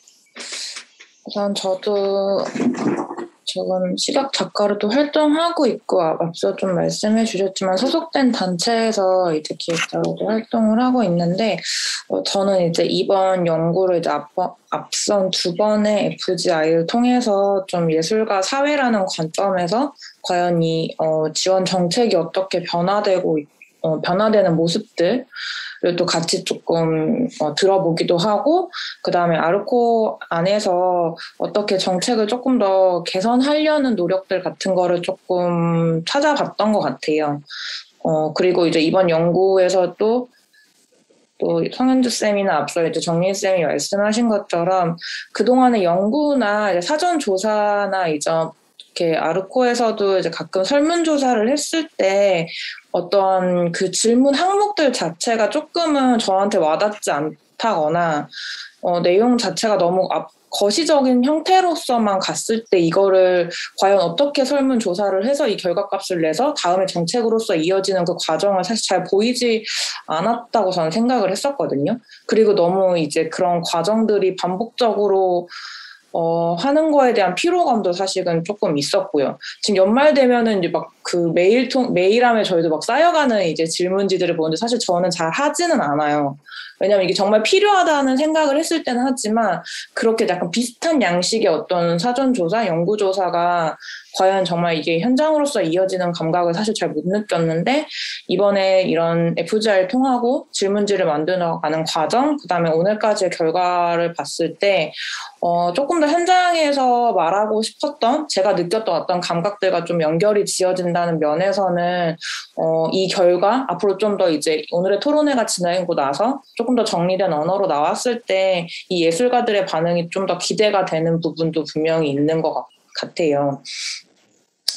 그리고 이제 어 특히나 이제 어떤 사건들, 그 다음에 블랙리스트 미투 이후에 이런 예술가들이 감각하시는 그 현장의 진짜 솔직한 이야기들이 어, 정말 이 정책적으로 이게 어떻게 더 다가가야 되는지, 이제는 이제 이걸 얘기를 했다면은 이게 진짜 실현하는 문제가 있어야 되는데 그 과정 안에서 이게 얼마나 반영이 되고, 그리고 그 반영되는 과정 안에서 분명히 소위원회가 활동하시는 어떤 활동하는 부분도 있지만 이렇게 FGI를 통해서나 더 많은 의견을 제안을 받는 자리가 좀 충분히 있어야 되지 않나라는 생각을 저는 좀 하게 됩니다. 왜냐면 이제 올해 그 다원예술에 관련된 거에서 저도 앞서 포럼을, 포럼에 참석한 참석자, 발제자, 토론자의 입장에서 그 다음에 그, 그 정책이 나오는 그 한 달의 기간 동안 사실은, 어, 그 현장에서 나왔던 어떤 심사에 대한 질문이라든지, 어, 이게 앞으로 어떻게, 어, 지원, 지원 사업으로 나갔을 때 기대하는 점이라든지 조금 이런 부분에 대해서는 좀더 농밀한 대화가 있어야 됐었는데 사실은 또 갑자기 쭉 리부트가 실행이 되고 이 안에 가정에서 또 불협화음들이 나왔을 때 좀 아쉬운 마음이 저는 좀 솔직히 들었거든요. 이런 과정이 사실은 이제 늘 저희가 지원 시즌이 되면은 반복적으로 이 시간에 쫓기게 되면서 이런 과정들이 조금 삭제되는 경우들이 많은데 오늘 토론회가 또 그런 거를 조금 더 발판으로 좀 진행되는 좀 자리였으면 좋겠다는 생각이 듭니다. 네, 감사합니다. 예, 봄로야 작가님 이어 주시면 좋겠습니다. 네, 안녕하세요. 저는 봄로야이고요. 앞서서 최도현 선생님께서 그 소개를 일러스트레이터 뮤지션으로 해주셔가지고 너무 당황했어요. 사실 그러한 포지션으로 참여한 건 아니고, 어, 시각예술가 분야, 아, 예술 활동을 하면서 음, 현재는 예술청 운영위원으로 활동을 하고 있어요. 그래서 어, 일단은 대표성을 띄고 당연히 나온 건 아니고요. 음, 들으면서 오히려 저는 어, 한 번에 FGI로 참여를 했, 는데 아까 남한아 기획자님이 설문조사를 이제 잘 아, 안 하고 있다. 요즘에는 그 말씀 하셨는데 전 반대인 것 같아요. 저는 오히려 요즘에 열심히 하거든요. 그 말은 예전에 많이 안 했어요. 에이, 이게 뭐 반영되겠어? 내가 하는 이 한마디가 뭐 누군가에게 닿겠어? 이런 마음이 있었는데, 어, 여러 가지 활동을 좀 하면서 이것들이 좀 감각되면서 열심히 하고 있거든요. 아마 남한현 기획자님은 조금 더 그 연구에 어떤 더 구체적으로 많이 참여를 하셨기 때문에 더 많이 알고 계시기 때문에 그러한 발언을 해 주셨을 거라고 생각이 드는데요. 요는 이 발제를 좀 많은 예술인분들이 같이 들으면 좋겠다. 왜냐하면 저도 이렇게 들으면서 좀 동시에 배우거든요. 그래서 좀 이런 시간이 너무 소중한 것 같고 음, 개인적으로는 제가 활동하는 것들을 좀 이따가 말씀을 드릴 텐데, 음, 저는 느끼면서 이게 어떤 방식으로든 저의 활동들이 물리적 시간으로 좀 증빙되지 못하는 것들이 많았는데, 이런 연구라든지 이런 토론을 좀 통하면서, 음, 제가 활동하고 있는 게 어떤 방식으로 연대, 연대적 감성? 연대적으로 좀 갖고 가고 있는지, 이런 거를 좀 느낄 수 있어서 기대가 됩니다. 장입니다. 예, 우선 세 분께서 약간 총론적인 얘기 좀 전해주셨는데요. 그러면은 좀 본격적으로 좀 토론 들어가도록 하겠습니다. 우선 그 성현주 위원님 발제 중에 뭐 가장 좀 그 첫 번째와 두 번째 그 이슈였던 것 같습니다. 첫 번째 이슈는 이제 리서치와 작품 그리고 활동과 관련된 이 세 가지 축으로 이제 예술가들의 뭐 작업과 활동 뭐, 뭐 이런 것들을 이제 좀 그 구분해보고 그거에 대한 비중들이 현재 어떻게 있는지 그리고 이런 것들이 10년 후에 어떤 식으로 변화할 것인지에 대한 그런 예측 같은 걸 했었고요. 그리고 우리가 보통은 뭐 콜렉티브형 활동이나 좀 유연, 유연한 방식의 협업들이 증가하고 있다고 하는 어떤 거를 현장에서 또 많이 경험을 하고 있는데 그것들을 또 구체적인 통계로 좀 확인해 볼 수 있는 그런 시간들이기도 했던 것 같아요. 그래서 이 두 가지 어, 주제 앞에 먼저 얘기했던 리서치와 작품 그리고 활동 그리고 유연한 협업의 그 내용들이 실제로 그 뭐 남아나 또 고한나 또 봄로야 작가님 작업의 어떤 현장에서 어떻게 좀 실현되고 있는지 이런 부분들에 대한 얘기부터 좀 시작해 보면 좋겠다 싶은데요. 예, 우선 좀 그 남하나 작가님 같은 경우는 실제로 또 작가적 활동뿐만 아니라 프린지 페스티벌을 기반으로 해서 이제 기획자적인 기획 작업들이 또 같이 이루어지고 있기 때문에 이런 리서치나 작품 활동에 대한 또 그런 그 경계 뭐 이런 것들에서 가장 좀 넓은 범위로 활동하고 있으시다고 볼 수 있을 어, 있을 것 같은데 우선은 남하나 작가님께서 먼저 좀 얘기를 열어주시고 예, 그 다음에 어, 그 봄노야 작가님 그리고 고한나 연주가님 이렇게 좀 또 얘기 듣도록 그렇게 하겠습니다. 음, 질문 한 번만 다시 정리를 해주시면 아, 아 예. 우선은 그 아까 연주 그 성현주 위원님이 얘기하셨던 그 리스 그 내용 중에 그 리서치와 창작과 활동, 리서치와 작품과 활동에 대한 그런 비율 같은 거를 이제 좀 했잖아요. 그래서 뭐 조사한 결과 중에 뭐 리서치의 리서치 작업의 비중은 한 30% 정도 되고 뭐 창작 활동의 비중 그다음에 그다음에 기타 활동의 비중들을 이렇게 좀 그 하는 조사 결과 있잖아요. 그래서 그 조사 결과에 대한 뭐 내용, 내용에 대해서 좀 생각하시는 바, 그리고 그 또 본인의 작업에서 과정에서 벌어지는 뭐 현장에 대한 내용이나 이런 것들로 그냥 편하게 얘기 좀 시작해 주시면 좋을 것 같습니다. 네. 우선 저도 이제 제가 있는 소속된 단체는 조금 공연 예술에 좀 더 가까운 형태를 이제 축제를 만드는 형태를 하고 있고 저도 개인 작업은 좀 시각 예술 작업으로서 이제 회화 작가를 이제 지향하고 작업을 하고 있는데 어, 사실 이제 경계는 옛날에는 이제 경계를 구분을 저 스스로는 되게 많이 했던 것 같아요. 그렇게 나의 정체성이라는 건 도대체 무엇인가라면서 어떤 기획자적인 부분에 대한 비율과 뭐 작업에 대한 비율, 뭐 그에 따른 뭐 어떤 수행성에 따르는 어떤 활동들 여러 가지를 좀 조각조각 내면서 이것들을 나는 어느 부분에 내가 지금 포지션에 있으면서 이제 활동을 해야 하는지 이제 매년 그런 거를 설정해서 이제 움직였다면 지금은 사실은 이거에 대한 어떤 호칭 부터가 좀 되게 달라지는 시대라고 저는 좀 생각을 해요. 그래서 저는 이제 뭐 옛날에는 예술가라는 뭐 예술인이라는 이름도 지금도 많이 하지만 오히려 저는 예술 그 이제 기획자도 창작의 영역에도 들어가서 활동을 하시는 방향 방향성도 이제 바뀌어지고 하면서 저는 그렇게 예술계 안에 있는 모든 분들 사실 창작자라는 호칭으로 많이 좀 불려지기를 원하고 그렇게 저 스스로도 부르고 있거든요. 그러니까 어떠한 일을 함에 있어서 뭐 실무적인 걸 제외하고 이걸 내가 설, 설정하는 값 뭐 이런 것들에 대해서는 점점 이 비율이 뭐 이제는 이거를 굳이 나누지 않고 내가 어떠한 이름으로 뭐 내가 스스로 사실 불려지는 이름 뭐 저는 기획하는 예술가의 뭐, 뭐 시각 작가예요라는 이름을 하는 것처럼 그런 것들이 이제는 구분되지 않고 이제 좀 불려지는 시대가 되지 않나라는 생각이 들어요. 사실 아마 이제 두 시간 뒤에 이제 아마 다른 재단의 지원서가 이제 오늘 창작 지원이 마감되는 걸로 알고 있는데 저도 이제 보면서 참여자의 역할을 뭐라고 써야 된다는 걸 이제 칸이 늘 있는 거예요. 그래서 어 나는 도대체 나를 뭐라고 또 써야 되는지라는 순간 약간 좀 고민을 하게 되는 시간이 약간 좀 있었거든요.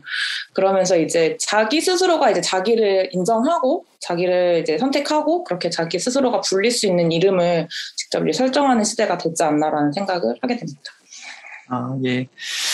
이게 좀 의미 있는 얘기를 하, 어, 들어 하셨던 것 같습니다. 우선은 이제 뭐 기획자나 작가로서의 어떤 구분된 정체성보다는 그거를 관통하는 어떤 창작자라는 이름으로 스스로 부르고 또 스스로 부르고 불리길 바라는 그런 것들로 좀 대변해서 얘기해 주신 것 같은데요. 특히 또 봄노야 작가님께서는 또 예술청 운영위원으로 또 우리가 이 카테고리에 따르면 그런 작품 활동 이외에 또 그런 예술과 연관된 연관 활동을 또 본격적으로 시작하고 계시잖아요. 또 그런 그런 내용, 그런 작품적 활동과 그런 예술청 운영위원으로의 활동 자체에 대한 자기 인식을 어떻게 보고 계신지 이런 것들 같이 좀 얘기 들려주시면 좋을 것 같습니다.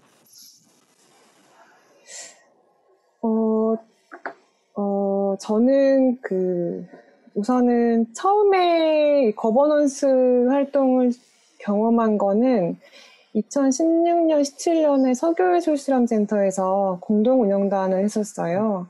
네, 그때 어떤 아주 큰 문제의식을 갖고 들어갔다기보다는 어, 기관에서 직접적으로 내가 뭔가 활동할 수, 활동하고 창작과는 좀 다른 결의 사업들을 할 수 있겠구나라고 이제 시작을 했었고 그러한 경험들이 좀 쌓였고 지금 예술청 운영위원 같은 경우는 어, 이것이 더 조금 더 음, 행정이나 실무나 정책에 어, 내 목소리가 더 가깝게 할 수, 어, 들리게 하고 싶다라는 좀 니즈가 좀 더 확실해진 상태로 어, 어, 활동을 하고 있는 것 같아요. 그러니까 음, 역시 경험을 좀 하면서 저도 많이 제 스스로가 변해가고 있는 시점이고요. 활동 같은 경우도, 어, 저는 이제 매개자로서 요즘에 더 많이 하려고 해요. 그러니까 뭐 기획자라기보다는 뭐 민간 사이 연결할 수 있는 매개자로서 나의 역할, 그리고 예술인과 예술인 사이에서 어, 필요한 부분들을 좀 충족시킬 수 있는 게 뭐가 있을지를 고민하는 매개자로서의 역할, 음, 이런 것들을 고민하면서 활동을 하고 있고요. 또 하나의 결론은 이제 예술계는 성폭력, 성희롱 그 사태 이후에 저 같은 경우는 원래 약간의 여성주의적인 성향을 가지고 작업을 하고 있었으나 그것이 대, 정말 크게 증폭됐거든요. 그러면서 이제 노니워크라는 콜렉티브 활동을 오래, 오랫동안 하고 있어요.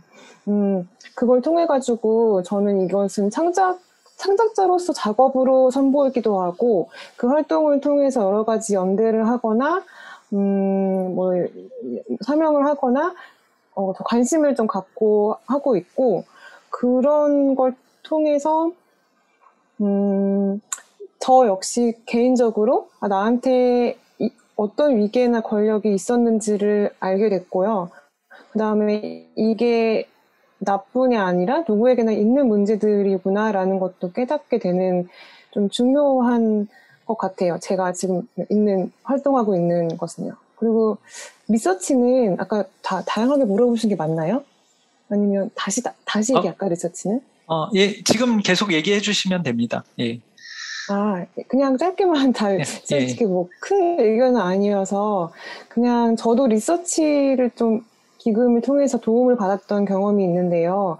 어, 긍정적인 방향으로는 그냥 리서치가 아니라 뭐 리 리서치, 그러니까 어떤 문제의식 갖고 나온 기금들이 있었어요. 소액에. 그다음에 뭐 기획자로서의 어, 리서치. 이렇게 좀 이렇게 세분화되면서 내가 어, 디서 무엇을 할 수 있는지를 여구를 알 수 있는 것도 있었고 반대로 이제 아 이런 게더 많아지면 좋겠다. 뭐 문화예술 생태계 내에서의 내 다른 역할을 알아볼 수 있는 리서치 기금이라든지 혹은 뭐 그냥 막 더 거칠게 말씀드리면은 장르에서 장르가 변할 때 굉장히 많은 시간이 필요한데 그거를 좀 더 연구할 수 있는 리서치 이런 식으로 좀 더 많은 것들이 좀 많아지면 좋겠다 예, 그런 생각을 좀 했었습니다. 아 예. 이 지금 그 뭐 2016년부터 서교예술센터 공동운영단부터 시작된 그런 거버넌스 활동 경험들 좀 얘기해 주신 것하고 그다음에 리서치 활동들에 대한 중요성 뭐 이런 것들은 되게 여러 장르에서 또 지, 이루어지고 있고 특히나 이제 시각 예술 분야 같은 경우는 리서치 부분에 대한 지원 트랙을 조금 먼저 도입한 네, 그런 사례들도 최근 보여지고 있는 것 같은데요. 특히 사실 이제 고한나 연주자님 같은 경우는 이제 또 시각 예술과 공연 예술의 좀 차이들이 있잖아요. 또 공연 연주자로서의 리서치, 그러니까 연주자로서의 활동, 뭐 이런 것들은 또 저희 연구 결과 대비해 가지고 좀 약간 좀 다른 해석이 있을 수도 있고 좀 차이가 있을 수도 있을 것 같은데 네, 그런 부분들 좀 같이 얘기 들려주시면 좋을 것 같습니다. 어, 저는 이게 지금 이 활동, 리서치, 작품 이세 가지로 나누는 부분이 있어서 활동 같은 경우는 저한테는 좀 작게 아마 제가 활동인 걸 잘 인지를 못하고 있고요. 그 부분에 대해서는. 근데 다른 연주자들은 솔직히 잘 모르겠는데 저는 리서치 부분이 굉장히 크게 작용하는 크게 어 있는 활동을 하고 있거든요. 실제로 저는 이제 태평소라는 연주자로 활동하기 시작한 이후로 계속 태평소에 관련된 다른 나라 악기들을 계속 연구를 해왔고 그것 때문에 인도에 가서 인도에서 그 악기를 배우는 기간 거한 5, 6년 동안 매해 가서 악기를 배우는 시간이 있었어요.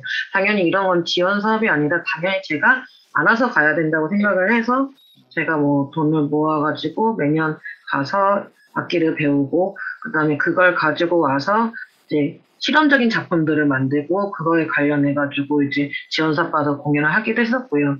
그다음에 코로나 직전 같은 경우는 그 새로운 음악들을 더 연구를 하고 싶어서 다른 나라를 가는 방법을 찾아보고 있었어요.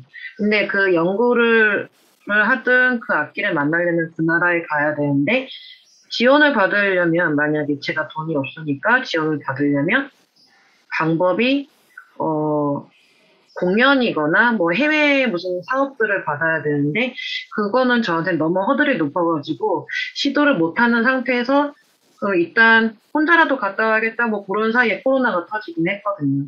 그리고 나서 더 이상 해외로 나갈 수 없는 상태에서 저는 어 그 연구를 계속 하고 싶고 해서 지금은 이제 학교를 들어, 다시 들어갔습니다. 그래서 지금 석사 과정에서 악기 연구를 다시 계속 하고 있고요. 물론 뭐 악기 연구가 개인적인 학문적인 목적도 있긴 하지만 이게 저의 개인적 그 예술 활동의 하나에 그냥 있는 거거든요.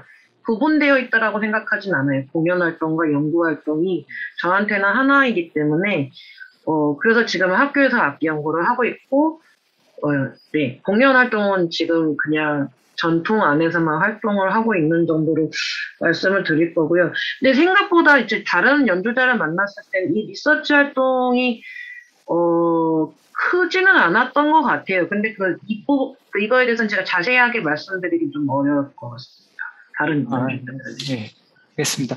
어, 우선 말씀해주신 그 아까 이제 연주자로서의 리서치 활동에 대해서 그 뭐 다른 나라, 다른 뭐 민속음악의 악기들을 이렇게 탐구하고 탐색하고 또 직접 또 현장에서 뭐 배우고 또 접목시키고 이런 활동들을 사실 이제 전반적인 리서치 활동에 대한 일환으로 얘기해 주신 것 같고요.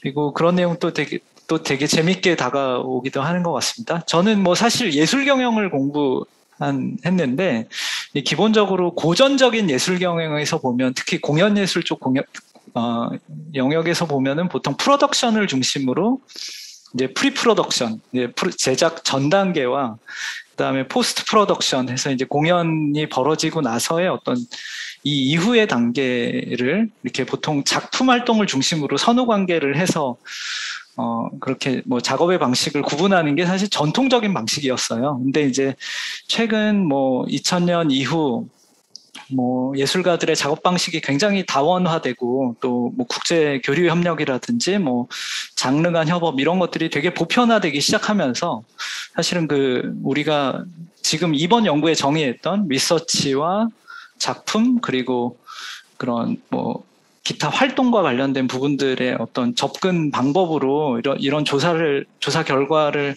냈다는 거에 대해서 좀 되게 유의미하다 이런 생각이 저, 저도 좀 개인적으로 좀, 어, 들고 있어서 잠깐 그렇게 코멘트를 좀 드렸습니다. 아, 우선은 그 성현주 위원님이 발제를 해주셨는데 그 세 분 좀 얘기 듣고 그런 뭐 리서치 특히 이 지원 구조에 있어서 우리가 리서치를 어느 정도까지 지원할 거냐라고 하는 부분 되게 중요하잖아요. 왜냐하면은 어, 예술위원회 대부분 지원 구조가 사실은 이제 작품 활동을 기준으로 해서 그 작품이 이루어지는 그런 창작 지원 성격이 되게 강하기 때문에 어, 그리고 리서치 활동에 대한 의견들도 사, 실 굉장히 소액이고 그렇기 때문에 약간 어, 본격적인 R&D라기보다는 그런 조금 뭐라 그러나요? 아주 초기적인 단계의 연구 정도의 지원에 그치는 경우들도 많다라는 의견들도 있는 것 같습니다. 그래서 전반적으로 지금 뭐 성현주 의원님 이렇게 연구 내용하고 현재 얘기 좀 들으신 바에 대해서 예, 또 얘기해 주시면 좋을 것 같습니다. 네, 저는 그 봄 로야님이 말씀해 주신 그러니까 리서치라 하더라도 이게 무엇을 위한 리서치인지 좀 더 사업에 확실히 경계가 지어지고 호명하는 게 분명할 때 좀 더 그게 좋아, 좋은 경험이었다고 하셨던 부분이 와닿았던 것 같아요. 그래서 저는 이제 아마 참여하셨던 것 같은데 그 190시간이라는 지원 사업, 그 서울문화재단에서 작년에 코로나 대응으로 했던 기획자 리서치 지원 사업이었는데 저도 이제 그 사업을 보면서 좀 인상적이었던 게 기획자를 호명하는 것도 새롭고 그거를 시간이라는 걸로 노동화해서 설명한 것도 재밌었지만 저는 약간 현장에서 좀 호응이 있었던 거는 인스타그램에 따로 계정을 만들고 그걸 통해서 그 기획자들의 작업을 성실히 좀 홍보하려고 알리려고 했던 게 현장에서 호응이 좋았다고 들었거든요. 그래서 저는 그걸 보면서 느꼈던 게 우리가 흔히 리서치 지원이라고 하면 굳이 그거를 또 알려야 된다는 생각을 많이 안 하는 것 같아요. 지원 사업 안에서는. 왜냐면 리서치를 했으니까 그건 언젠가는 작품으로 나올 거고 그럼 그때 가서 보면 돼라는 그런 생각들이 좀 있는 것 같은데 그게 아니라 오히려 예술 지원 안에서 그 이루어지고 있는 리서치만으로도 어떻게 생태계를 보여줄 수 있는지 아니면은 리서치 단계에서 사실 그걸 보고 서로 관심 있는 사람들끼리 협업을 할 수도 있고 뭐 그런 새로운 어떤 관계들이 만들어질 수도 있는 건데 그거를 이제 예술 지원 기관이 어떤 역할을 해서 그거를 좀 촉진할 거냐 그런 점들을 이제 뭐 아르코도 그렇고 다른 예술 지원 기관들이 많이 고민해 봐야 될 지점이라고 생각을 했습니다. 아, 예, 말씀 감사합니다.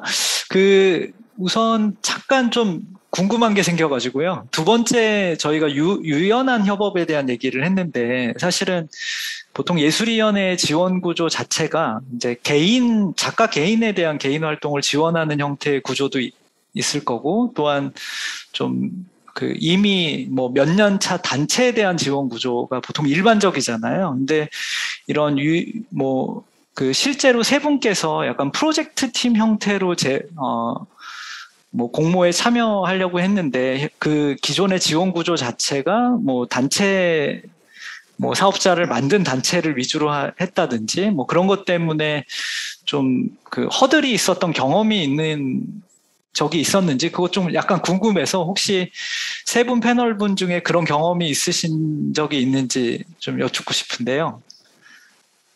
있으신 분 손 한번 들어주시면 예, 얘기 잠깐 들려주셔도 좋을 것 같습니다. 아, 특별히 그런 경험은 없으신가요? 예, 제가 약간 돌발 질문, 아, 저기 고한나 연주가님 손 들어 주셨습니다.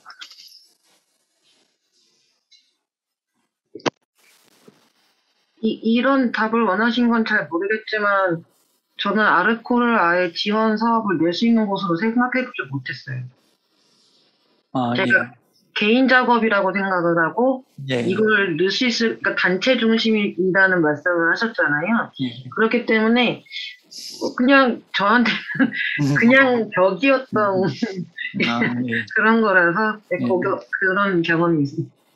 아, 예. 오히려 이게 예, 그러니까 예술위원회 지원 사업이 약간 액자같이 존재했군요. 예. 그러니까 실제로 이렇게 지원을 할 수 있는 그런 어, 부분들에 대한 것까지 이어지진 적은 없었다라고 하는 건 아마 심리적인 허들이 있다라고 이- 읽혀질 수도 있을 것 같은데요. 예, 뭐 그렇게 제가 좀 보겠습니다. 아, 그리고 그러면은 이제 그 성현주 의원님 여덟 가지 얘기해 주신 것 중에 이제 뭐 세 번째, 네 번째에 대한 얘기를 조금 얘기를 좀 더 나누고 싶은데 첫 번째는 이제 그 중에 첫 번째는 이제 뭐 작품 활동을 통한 사회와의 소통 이냐, 그러니까 내 작업 자체가 어떤 사회와 소통하는 어떤 방식이냐, 아니면은 어떤 작품이 담고 있는 어떤 주제 의식을 통해서 뭔가 사회와 소통하느냐, 뭐 이런 부분들에 대한 또 뭐 의견이나 이런 것들이 있, 있었어요. 혹시 정윤희 의원님이 이 부분에 대해서 사실 발제를 해주셨기 때문에 어, 혹시 그 세 분 패널 분들한테 뭐요 어, 요 데이터, 뭐 통계에 대한 것 중에 좀 궁금한 것들 좀 질문해 주시면 또 이어서 또 답을 듣는 그런 시간을 갖도록 하겠습니다. 제가 제대로 못 들었는데 안 들려갖고. 아, 아, 예. 예, 정인희 의원님이 약간 그 접속 상태가 약간 좀, 어, 문제가 있는 부분이 있어서 그 조금 그 듣기가 좀 어려우셨던 것 같은데요. 우선은 그, 그러니까 정인희 의원님이 주로 아까 발제해 주셨던 내용 중에 그러니까 네. 예술가와 어떤 예술가가 사회와 소통하는 방식 아. 어, 이라고 하는 부분들에 대한 거를 조금 굉장히 깊이 있게 그 설명을 해주셨잖아요. 그 통계 데이터도 그렇고요. 그래서 세 분 패널 분들한테 그 발제했던 내용 중에 좀 질문하고 싶은 부분이 있으면 우선 좀 질문을 해주시면 또 토론자분들께서 같이 이렇게 답을 해주시면 좋을 것 같아서 질문 기회를 드린 겁니다. 감사합니다. 네. 죄송합니다. 그, 저는 이제 이런 것 같아요. 우리가 이제 얘기를 나누는 것들이 이제 지원 사업에 초점이 있긴 한데 또 한 축으로는 아르코는 예술위원회이기 때문에 국가 예술 정책을 수립하는 데 있어서 예술가들의 인식이 되게 중요하다고 생각을 하고 이랬을 때 지금 시대적 국면에서 계속 이제 예술가의 삶, 뭐 이렇게 직업적 지위 이런 것들과 관련된 뭐 복지라던가 권리 이런 정책들이 이제 막 수립이 되고 어 그러면서 이게 계속 예술가들 예술에게 이게 예술이 사회적으로 어떤 쓸모가 있냐 혹은 어떤 가치가 있냐라고 하는 걸 계속 질문을 하는 거죠. 증명을 해내라. 그런데 예술가들은 이미 여러 가지 작업 방식들, 뭐 커뮤니티 아트라던가 혹은 아예 지금 뭐 사회적 무슨 작업, 뭐 사회적 문제 해결을 위한 청년 예술단 같은 경우는 그런 미션을 갖고 작업을 하기도 하고 혹은 아까 처음 시작할 때 성현주 선생님께서 우리가 왜 이런 지원을 했냐라고 하면서 예술이 사회에서 활동하고 있는 뭐 문화도시라던가 뭐 예술 교육이라던가 여러 가지 프로젝트들을 이렇게 말씀드렸는데 아, 예, 예시를 들어주셨는데 거기서도 이제 예술가들의 활동은 사회적 관계가 굉장히 긴밀하게 있죠. 그런 그런데 이런 부분에 있어서 이제 인식들이 좀 저희 연구에서는 좀 단, 단선적으로 드러났어요. 그냥 작품과의 소통이라던가 혹은 이렇게 영향을 미친다. 내 작업이 사회에 영향을 미친다. 혹은 좀 더 저 심층적으로 들어갔던 것들은 예술계의 관, 그러니까 예술계를 넘어서 사회, 사회와 예술계를 좀 구분을 해서 예술계를 넘어서 사회에 대한 관심들, 나의 작품을 소통하게 되고 어떤 의미가, 의미가 있게 되고 이런 부분들에 대한 인식이 내가 속한 예술계의 어떤 문제들, 위계 문제나 이런 것들, 미투나 뭐 이런 문제들을 경험하고 나서 그것들을 벗어나서 예술계의 기존의 예술계의 어떤 룰을 벗어나서 좀 사회하고 더 긴밀하게 가면서 사회적인 의미들을 찾아가는 것들도 이제 확인을 할 수 있었거든요. 그래서 혹시 여기에 대해서 좀 더 코멘트를 더 해주셨으면 좋겠고 특히 남한한 쌤은 이제 프린즈라고 하는 이렇게 플랫폼 활동 플랫폼을 이제 만들어내는 그것들이 예술의 어떤 사회적인 어떤 관계 맺기 이런 것들 굉장히 실험성 있는 예술을 사회하고 직접적으로 연결하는 부분에 있어서 굉장히 좀 경험도 있고 이해도 있다고 생각을 해서 먼저 들어보고 싶습니다. 네. 왜 다들 저에게 첫 질문을 계속 주시죠? 당황스럽습니다. 음, 글쎄, 우선 그 제가 좀 뒷, 뒷질문을 먼저 좀 생각을 하면은 제가 이제 앞선에 그 사전 회의에서도 말씀드렸듯이 이제 어, 이번에 이제 연구 사업 자체는 예술인 개인의 좀 초점을 맞추면서 개인들의 어떤 의견들을 조금 그래도 어, 그동안 듣지 못했던 걸 조금 디테일한 작업을 디테일한 설문의 자, 설문지를 통해서 들었다고 생각은 하는데 사실 개별 예술가가 있는 질문도 되게 유효하지만 사실은 그것들이 모이고 모여서 같이 활동할 수 있는 플랫폼 민간 플랫폼에 미 그거를 진짜 묶어주는 역할을 하는데 그런 활동들이 좀 사실 잘 드러나지 않는다는 생각을 이제 제가 그러니까 뭔가 글을 쓰다 갑자기 좀 생각이 났던 것 같아요. 이제 아무래도 이제 플랫폼이라는 역할이 이제 앞으로 어떻게 되어야 되는지에 대한 뭐 저희 사무국의 고민에서부터 사실 출발을 했던 거긴 한데 이 예술가들이 모일 수 있고 뭔가 저희는 또 축제라는 형태로 이들이 모여서 뭔가 발화할 수 있는 작업들을 계속 하는 것도 있, 하는 부분에 있어서 저희는 이제 기획자들이 모인 그룹이기도 하지만 또 창작자도 들어갈 수 있고 어떤 기술자도 들어갈 수 있고 어떤 자기들을 호명하는 그 호출하는 호명하시는 분들이 다 자연스럽게 함께 만드는 축제를 지향하고 있는데 어떤 이들의 이들이 어떻게 좀 뭉칠 수 있거나 좀 드러낼 수 있는 판 자체가 사실은 이런 지원 사업, 특히나 플랫폼을 지원하는 직접적인 사업들이 조금 저는 오히려 조금 부재하다는 생각을 어제 조금 문득 했던 것 같아요. 뭐 아까 말씀하신 것처럼 뭐 인력 사업들도 있고 아니면 뭐 정말 어떤 신나는 예술 여행이랑 어떤 그런 사업의 이름으로도 나아가시는 분들도 있지만 그런 거는 어떻게 보면 자신의 극단을 운영하는 극단의 어떤 생존을 위한 거나 그걸 활동하기 위한 또 방편도 있는데 저희처럼 기획자들이 뭉친 어떤 그룹 뭐 아니면 이제 창작자들이 뭉친 그룹들이 어떻게 좀 기관 어떤 거버넌스의 그런 체계 안에서 말고도 민간 자체들이 그들이 움직여서 민간과 연대할 수 있는 방법으로서 움직일 수 있는 사업들 이 지원 사업들이 조금 더 유연하게 있으면 어떨까라는 생각을 하게 되거든요. 왜냐면 저희도 이제 연말이 되거나 그러면 이제 저희가 할 수 있는 방법은 용역을 하는 방식이 있는데 용역도 사실은 저희한테도 되게 좀 힘든 작업이기는 해요. 이게 각자가 생존하는 방식들 안에서도 용역이라는 건 한 트랙이기도 있지만 어떤 이게 조금 더 자연스러운 지원 사업으로도 좀 생기면 어떨까라는 생각 을또 한 축에서도 하면서 또 한 축으로는 아 또 이 플랫폼이 또 지원 사업에 또 너무 얽매이는 것도 괜찮나라는 그런 고민도 사실은 좀 혼재돼서 지금은 좀 하고 있기는 해요. 어, 네. 그게 이제 저희 안에 내부에서도 이제 어떻게 보면 되게 쳇바퀴식의 어떤 움직임을 좀 만들어가기 때문에 자율성이라든지 어떤 좀 지원 사업에 종속되는 느낌 이런 것들도 좀 받다 보니까 어, 이게 과연 좋을지 안 좋을지는 좀 더 판단을 해봐야 되겠지만 이런 생각을 좀 해봤다라는 말씀을 좀 드릴 수 있을 것 같아요. 한마디 해도 되나? 어, 자연스럽게 하셔도 네, 됩니다. 네. 네. 그럼 복노야 쌤 선생님, 그러니까 저는 이렇게 생각하는데 예술의 어떤 사회적 관계는 창작으로만 하기도 하지만 예술과의 사, 그러니까 예술가 도 사회를 살아가는 하나의 구성원으로서 어떤 보편적인 권리라던가 이런 것들에 대한 감, 감각이 있는 거죠. 예를 들면 뭔가 이렇게 어떤 사회 관계 맺는 부분에 있어서 우리가 기관과 관계 맺기도 하고 뭐 학교와 관계 맺기도 하는데 지금은 정책도 얘기해야 되기 때문에 사실 그런 정책과 연관돼서 이제 얘기를 하게 될 때 이제 예술인들이 어떠한 것들을 필요로 하고 있고 이 협력, 협업을 하기 위해서 어떤 것들이 좀 필요하고, 그리고 나의 권리를 찾기 위해서 어떤 것들이 필요하고, 이런 것들 사실 예술청에서 사회적 안전, 안전만 학교라던가, 여러 가지 의제 플랫폼 같은 것들을 만들고 있어요. 그래서 이제 예술과 사회라고 하는 것들이 좀 단층적으로 그냥 창작 작품 의미가 있어서 뭐 이렇게 사회적 의미가 있다가 아니라 사회를 살아가는 구성원으로서 뭔가 인식들을 서로 넓혀가고 기관도 상호적으로 또 이것들을 받아서 이것들을 정책화하고 지원하고 이런 부분들이 필요해서 여기에 대한 코멘트를 좀 듣고 싶습니다. 음, 사회를, 사회 구성원으로서의 되게 약간 무겁게 들리기도 하는데요.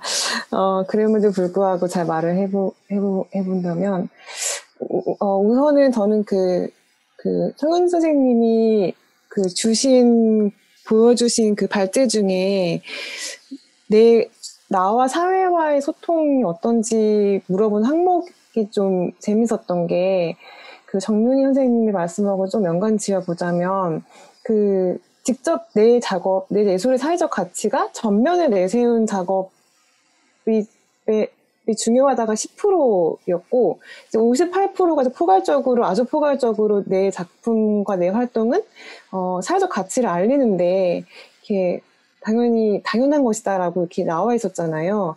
저는 이게 이렇게 나눠지는 게 좀 재밌었어요. 그러니까 전면적으로 내세운 작업이 이렇게 세분화를 돼가지고 10%를 차지한 걸 보면서 이 결과물의 차이가 뭘까가 좀 생각이 들었거든요. 그러니까 어쩌면은 사실 그 10%는 그 큰 범위의 58%의 나의 사회와의 소통에 수렴될 수도 있겠고 또 그것은 작품이나 창작품 외에 문화예술 생태계에서의 나의 활동에서 내가 내는 목소리일 수도 있는 거잖아요. 그래서 좀 흥미로웠다는 거 말씀드리고 꼭 말씀드리고 싶었고요. 그런 거로서는 저는 이제 후자 후자의 역할을 저도 많이 해보려고 노력을 하는 것 같아요. 그러니까 음, 어, 뭐, 첫, 첫, 어, 그냥 내가 활동하고 있는 그 문화예술 생태계에서 안전망이 저희가 어저께도 그런 논의가 좀 있었는데요. 그러니까 안전망이 내가 내가 그 역할과 책임을 무겁게 짓누르지 않기 위해서 활동하는 것도 있거든요. 그러니까는 개인의 책임으로 이것을 돌리는 게 아니라 이게 구조적인 문제인 거고 이것은 뭐 기관이든 뭐 국가든 어떤 더 큰 프레임에서 해결해 줘야 되는 문제인데 그 안에서 난 너무 작은 존재인 거고 그랬을 때 내가 뭘 할 수 있을지를 고민을 하게 됐던 것 같아요. 그래서 근데, 저는 이제 그거를 좀 매개자로서 역할로서 어, 운영위원으로 활동하게 됐고요. 안전망 아카데미 같은 경우도 제가 저 혼자 한 건 당연히 아니고 같은 운영위원회에서 이것에 관심사가 훨씬 큰 운영위원들이 있었어요. 그분들을 만나게 되면서 시너지를 받았고 이러한 고민들을 같이 해결해보고 이거를 강연이나 토론이나 참여를 통해서 만들어보자라고 시너지가 붙게 되어서 어, 활동을 했습 어, 그, 그 프로그램을 만들었습니다. 그래서 음, 말씀하신 그 작품을 통한 사, 회와의 소통은 저는 이제 작품이라기보다는 제가 작품 외로 조금 분리되어 있긴 한 것 같아요. 그러니까 58% 10% 얘기하자면은 거기에 발맞춰 보면은 저의 모든 창작 창작은 58%지만 제가 인식하는 조금 더 전면을 내세운 작업은 지금처럼 운영위원회를 하거나 다른 거버넌스 활동을 해보거나 이렇게 토론을 참여하거나 이렇게 좀 분리가 되는 느낌이 있어요. 그래서 좀 조심스럽지만 흥미로운 활동을 하고 있다고 생각을 합니다. 아, 그리고 또 하나는 그, 이 사회와 소통이 좀 약간 큰 범위인 것 같긴 해요. 지금 말씀하신 것도 그렇지만 또 되게 여러 가지 얘기할 수 있잖아요. 뭐 어떤 사회를 말하는 건지 약간 좀 이렇게 두루뭉술한 것도 있는 것 같아요. 그래서 이 어떤 사회를 말하는지도 되게 막 세분화해가지고 연구해보면 좋겠다 이런 생각도 해봅니다. 공공성 같은 경우도 뭐 내 개인의 관심사, 내 작업이 직접적으로 공공성을 띠고 있어라고 이제 하는 것과 공공에 관련된 기금이나 공공에 관련된 프로젝트가 있을 때, 아, 나는 여기에 내가 한번 지원을 해보고 프로젝트를 만들어 볼까라고 참여하는 것들이 많이 늘어나고 있, 다고 생각을 하거든요. 그래서 뭐 이 사회와 소통의 사회성이 뭔지를 세분화된 리서치가 많으면 좋겠다는 생각이 들었습니다. 정인 의원님 혹시 궁금하셨던 것들 질문하고 답변 좀 그 진행했던 시간이었는데요. 계속 조금 더 주제를 좀 이어나가서 이렇게 얘기해 보도록 하겠습니다. 우선은 그 성현주 의원님이 그 네 번째로는 약간 이게 논쟁적인 주제일 수도 있는 것 같은데 왜냐하면 세대론이잖아요. 지금 지금 하여튼 한국 사회가 세대 뭐 2030 이런 것들이 뭐 뭐 예술계에 대한 논의들도 있지만 사실 사회적인 논의들이 지금 20, 2030 MZ 세대 뭐 지금은 뭐 대선 기간 중이어서 모든 대통령 후보들이 2030에 뭐, 뭐 그걸 좀 그 표를 얻으려고도 뭐 매일매일 정책 공약을 내기도 하고요.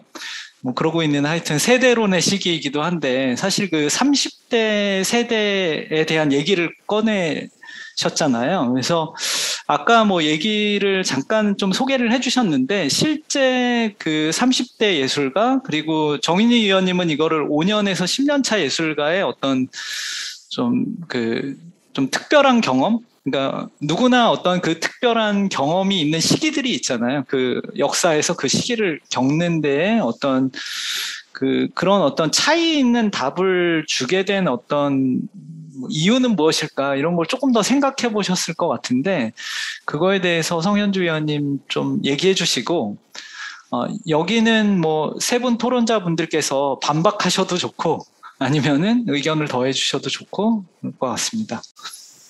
네, 일단 제가 왜 저도 세대론이 위험한데 되게 그거를 주목하게 된 이유를 말씀드리면 이게 흔히 통계 분석을 할 때 결과에서 가장 1차적으로 분석하는 게 집단 간 차이에 대한 분석이거든요. 그리고 이제 그렇다면 당연히 이 조사의 경우에는 장르 간 차이를 보게 되고 그 다음으로 이제 연령이나 경력에 대한 차이를 보게 되는데 제가 계속 제 눈에 띄었던 거는 20대와 30대의 응답이 너무 다른 거예요. 그러니까 그냥 30대가 50대와 다른 건 너무 당연하게 생각할 수도 있지만 왜 여기에서 20대와 30대 또는 경력 기준으로 바꿔 말하면 5년 미만인 사람들과 좀 그것보다 많은 사람들의 의견이 왜 많이 다를까? 라는 거가 이제 제 눈에 많이 띄었고, 그러면서 저도 이제 연구자지만 예술 현장에서 저도 이런저런 거버넌스 활동을 하면서 제 주변에서 봤던 30대의 예술가들이 좀 어떻게 살아가는지를 보면 뭐라고 해야 되나, 백화점식으로 역량을 탑재하는 것 같은 걸 되게 많이 느꼈어요. 그러니까 한 번에 하고 있는 일이 기본적으로 한 다섯 개 이상은 되는 것 같고 거기에서 각각 호명되는 이름과 정체성도 너무 다 다른데 시간을 하루에도 그런 일들에 다양하게 쪼개서 쓰지만 그게 그래서 정체성이 뭐냐 하는 일이 뭐냐라고 물어보면은 사실 그게 다 모여져서 그 예술가를 구성하는 거라는 걸 저도 옆에서 보고 그러면서 이들한테는 그러니까 어떤 예, 생각을 많이 했냐면 흔히 요새 예술인들한테 공공 일자리를 제공해야 된다라거나 그런 음. 안정된 일자리가 많이 담론화가 되잖아요. 근데 저는 오히려 30대 예술가들을 보면서 이들은 안정된 일자리를 하나 구하려는 게 아니라 나라는 사람을 어떻게 브랜딩해서 내가 곧 안정적인 어떤 어디에서나 이렇게 초대받고 어디에서나 활동할 수 있는 사람으로 가치를 좀 만들어 나가는지를 중점을 두고 활동하고 있다고 제가 주변에서 많이 느꼈거든요. 그래서 약간 그렇게 제가 느껴왔던 것들. 그리고 그런 30대 예술가들의 정체성이 사실은 공공도 많이 기여한 게 아닐까. 그러니까 다양한 지원 사업을 내, 내걸고 거기에서 갑자기 예술가한테 토론을 하게 한다거나 이제 창작을 하던 사람이 뭐 조직 구조안을 짠다거나 그런 수많은 좀 융합적이고 복합적인 일들을 통해 이들이 정말 어떻게 나아가고 있는지를 보여주는 게 한편 이 조사에서 드러난 그 세대의 차이가 아닐까라고 생각을 하면서 그 세대를 좀 부각해서 얘기해보고 싶었고요. 그렇지만 여전히 왜 그렇다면 그들의 경험이 20대와는 또 다른지에 대해서는 저도 더 앞으로 고민을 해봐야 될 지점인 것 같고 여기 토론자 분들도 좀 네, 경험을 나눠주셔도 좋을 것 같아요.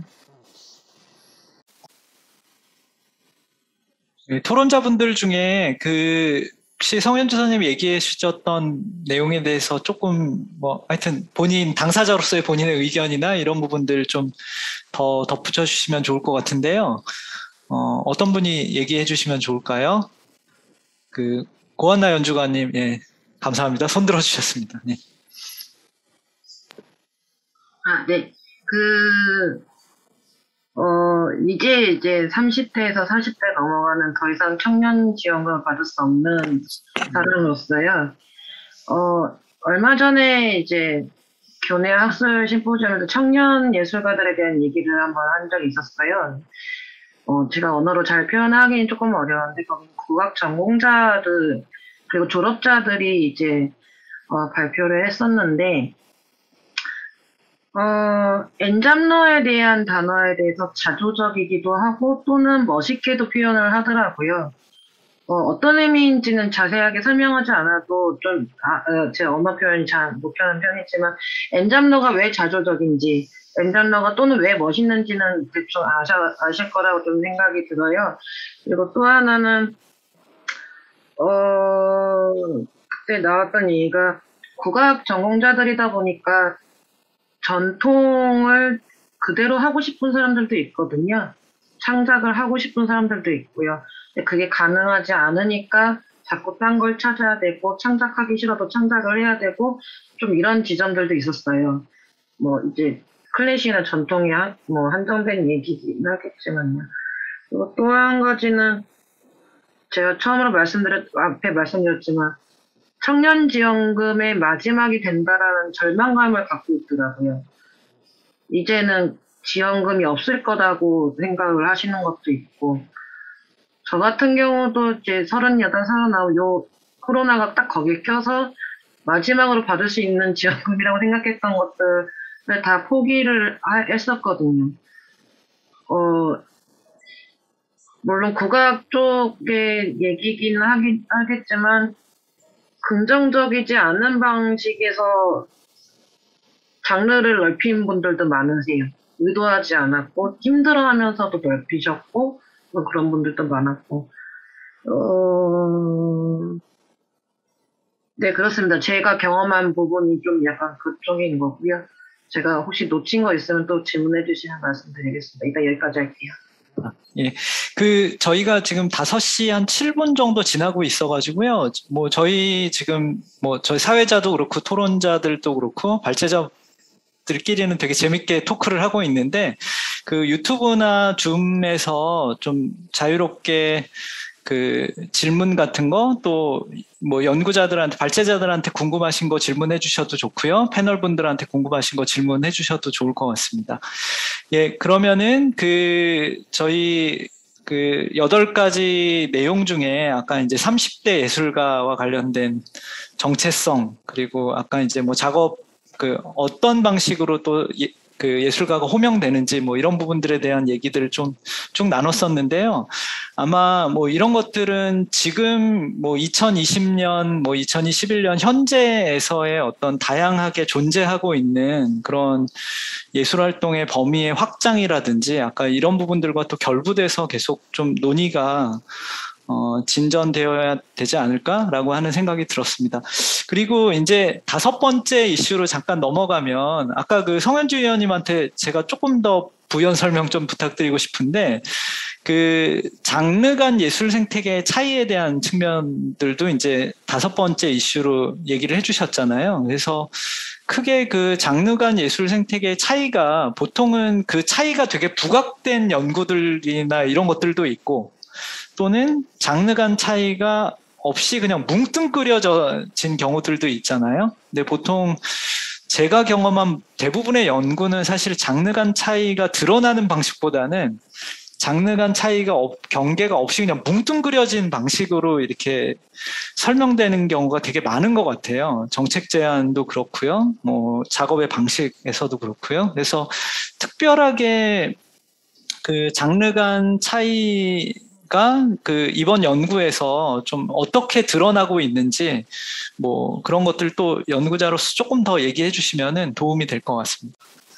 네, 저도 그 제가 경험했던 흔히 뭐 예를 들면 예술의 실태 조사나 이런 곳에서는 어떤 장르가 어떻다라기보다는 뭐 예술인이 월급 100만 원에 살아간다 뭐 약간 이런 식으로 뭐 그렇게 장르를 특정하지 않고 항상 설명을 해왔던 것 같아요. 그런데 이번 조사는 저희 세 명 연구진이 사실 그 질문을 만들면서 이게 바로 예술의 현재성을 보여주는 지표라고 생각한 거였는데 그 지표를 가장 잘 내면화했다고 해야 되나? 아니면 그게 잘 드러난 분야가 다원예술, 그리고 뭐 시각예술, 그리고 기획이나 정책 연구 이런 파트였던 거죠. 그래서 약간 그런 타는 말은 한편으로는 저는 사실 무슨 생각을 했냐면 뭐 고한나 연주가님처럼 그런 전통 예술에 계신 분이나 아니면 클래식 음악이나 뭐 그런 분야에서도 저는 뭐 기획자적 역할이라거나 그런 게 커지고 유연한 협업이 증가한다거나 아니면은 뭐 활동이 증가한다거나 이런 예술의 현재성의 어떤 추세가 모든 장르에서 비슷하게 보일 거라 생각했는데 제가 생각했던 것보다는 그런 특정 장르에 한정된 이야기인 것처럼 보일 수도 있어서 그래서 저는 그런 고민을 하게 된 거예요. 그러니까 저희가 바라보는 예술의 현재성이 그냥 몇 개의 장르의 현재성일까 아니면 한 지금은 이 장르 몇 개가 좀 선도적으로 보여주지만 한 10년 후 예술계에는 이게 장르 상관없이 모든 장르에 공통적으로 보이는 현재성의 흐름과 추세와 트렌드로 나타날까 이런 게 또 저희 조사 결과의 중요한 해석의 포인트가 될 거라고 생각을 했습니다. 어떻게 보면 결과를 설명한 게 아니라 제 고민을 한 번 더 말씀드리게 됐네요. 네. 예, 그 혹시 정윤희 의원님 조금 얘기해 주실 내용이 있으실 것 같은 거죠? 네. 예. 저는 이제 이런 것 같아요. 저희 연구에서 어떻게 보면은 이제 질문, 그러니까 좀 약간 의도가 좀 있죠. 뭐냐면은 현재성에서 미래를 대비하기 위한 정책을 만드는데 이왕이면, 그러니까 이왕이면은 예를 들면 예술이라고 하는 게 저는 예, 제가 생각하는 예술가는 결국에는 그런 거거든요. 뭐냐면 이렇게 좀 이게 실험적인 것들을 도전할 수 있고 그것들을 좀 자유롭게 도전할 수 있는 조건들이어야 되는데 그 예술의 가치나 의미는 전 거기 있다고 보고 유미주의적 미, 미, 미학과는 아니에요. 그래서 이제 그런 부분들이 좀 중요하다고 생각을 했고 그러면 결국에는 예술가의 삶은 공적 제도랑 굉장히 긴밀하게 가고 있는 거죠. 아까 고한나 선생님께서 얘기해 주셨던 내용인데 뭐 일부 예를 들면 청년 시기에 지원을 받으려면 이런 이런 작업을 의도치 않게 갑자기 다원하고 싶지 않은 다원해야 되거나 뭐 이렇게 되는 거죠. 이건 이건 굉장히 다양할 수 있는 건데 이게 제도에 따라서 굉장히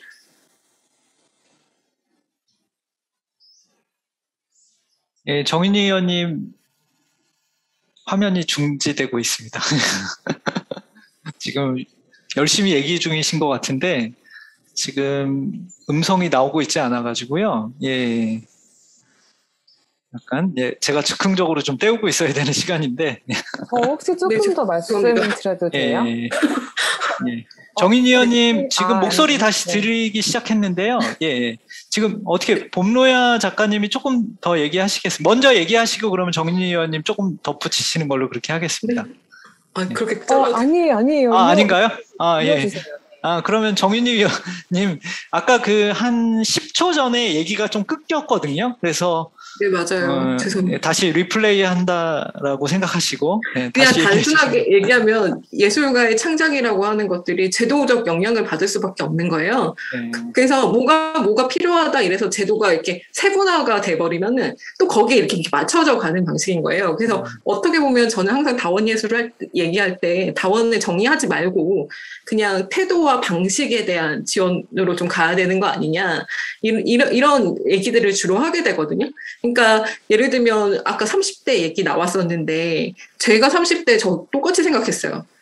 저도 제가 작업하는데 예를 들면 제 작업을 좀 잘 보이게 하냐? 근데 이런 것들이 미개 문제 때문에 안 하게 되고 그리고 다른 방식을 채택하면서 이렇게 가는데 40대가 돼가지고는 보면은 아까 고한나 선생님이 얘기하셨던 것처럼 그런 경력으로는 아르코 같은 데는 지원을 하기가 되게 어렵거나 해도 이제 되기가 어려운 게 되는 거죠. 그러니까 30대 이 시기에는 이게 지원이라고 하는 것들을 굉장히 풍부하게 받다가 가면 뚝 끊어져 버리고 그래서 그래서 저는 이제 이런 제도적 관계에 있어서 인식들 그러니까 어떻게 이게 예술계 내부에서 좀 확보해 내, 나가야 되냐, 창작에 대한 자율이라고 하는 것들을 확보해 나가야 되냐, 이런 고민들이 계속 되는 것 같아요. 이어서 복문화 선생님 얘기해 주십시오.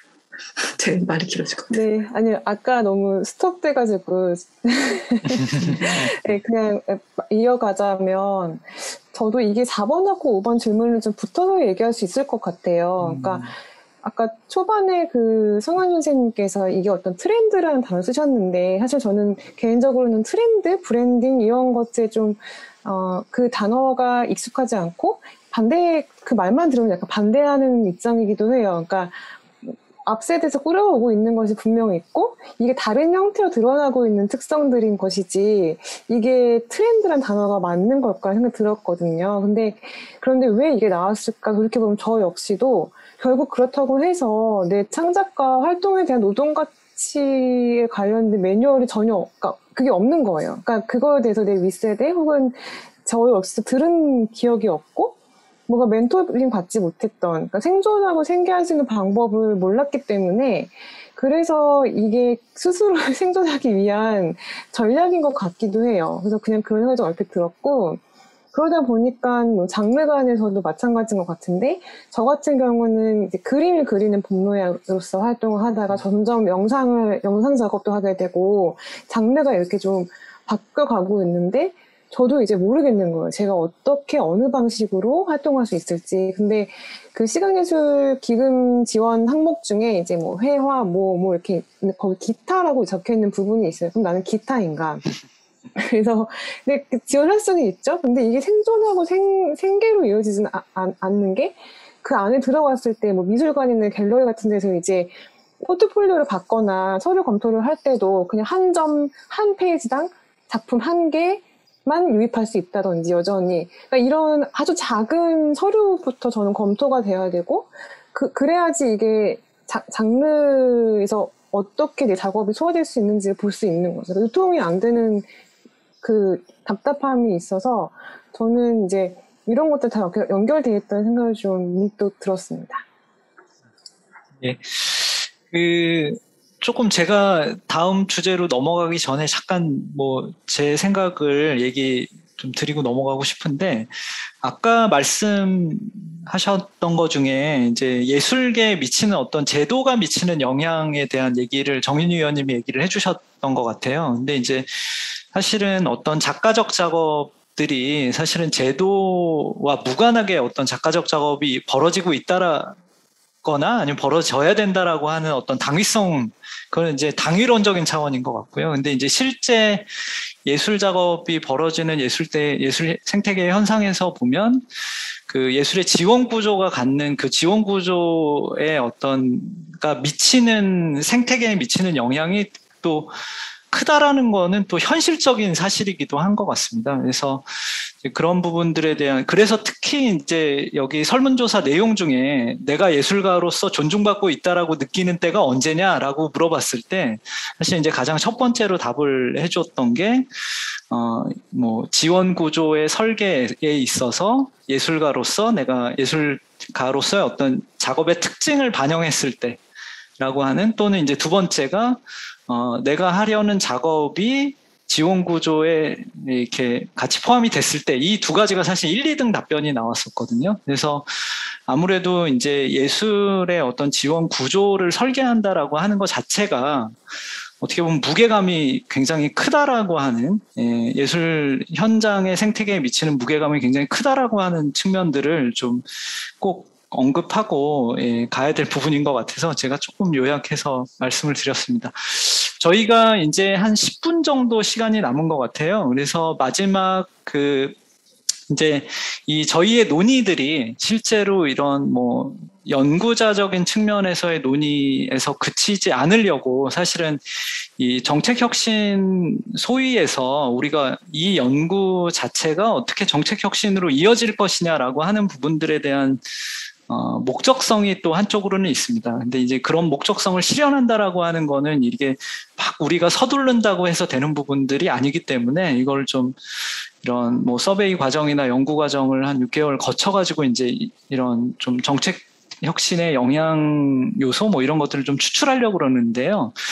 어, 그 부분에서는 그 특히 이제 예술 행정기관의 뭐 시, 예술계 내 어떤 공정과 투명의 이슈, 아, 까 얘기했던, 그 다음에 문화 행정기관의 어떤 신뢰, 뭐 이런 부분들에 대한 이슈들이 항상 등장하고 있잖아요. 어떤 지원 구조가 있고 지원 평가가 있을 때 또 그 작업들을 사후적으로 평가하는 과정이나 뭐 모니터링 하는 과정, 여기에서 이제 계속 좀 공정의 이슈, 투명의 이슈, 뭐 예술가와 기관의 신뢰에 대한 이슈 이런 것들이 계속 등장하고 있는데 그런 부분들에 대해서 좀그 좀 덧붙여서 좀 얘기를 꺼내 주시면 좋을 것 같고요. 어, 이 부분에 대해서는 정윤희 의원님이 아까 발제 두 번째에서도 여러 가지로 좀 그 소개를 해주셨는데요. 어, 우선은 아주 길지 않게 그 좀 정윤희 의원님이 이 공정과 투명의 이슈 그리고 문화행정기관의 신뢰 이슈에 대한 얘기에서 아 진짜 핵심이 무엇이냐 우리는 어떤 문제의 원인에 있다라고 느끼시는지 그 얘기 좀 듣고 그리고 또 다른 패널 분들 좀 얘기 듣, 듣는 네, 그런 시간이었으면 좋겠습니다. 저는 주로 그런 공정과 뭐 투명성 이거는 사실은 기관이 갖게 되는 이제 기본 원리라고 생각을 해요. 그런데 공정과 투명성에서 사실 공정담론이라고 하는 것들이 우리 사회에서는 일종의 경쟁 체제 안에서 자란 근대격을 갖고 자란 그런 혹은 수월성이 굉장히 중요한 이런 인식들이 굉장히 뿌리 깊게 있고 또 행정 안에서는 이제 관료 체제 내에 어떤 수직적인 어떤 결정 구조라고 하는 게 본질적으로 계속 흐르게 되는 것 같아요. 그렇기 때문에 혁신이라고 하는 것들, 그러니까 예를 들면 정책이라는 것들이 만들어지고 그것들이 좀 문제를 해결하는 방식으로 가기 위해서는 사실은 전환 방식이 필요하다고 생각을 해요. 그래서 예술 생태계의 공정 문제와 뭐 이렇게 그런 문제를 얘기할 때 우선 사건이 발생되지 않도록 최대한 노력을 하되 사건이 발생했을 때 거기에 대한 후속 조치라고 하는 것들은 물론 이제 피해를 입은 당사자가 명확하면 그 피해자를 중심으로 가야 되겠지만 만약에 이렇게 그 다원예술 같은 경우는 이제 피해자도 있었지만 예술계의 그 사업에 참여했던 사람 그 얼음에 이제 어, 문제를 인식을 하고 목소리를 냈던 이제 예술가들에 대한 반응들이 좀 필요하다고 생각을 하거든요.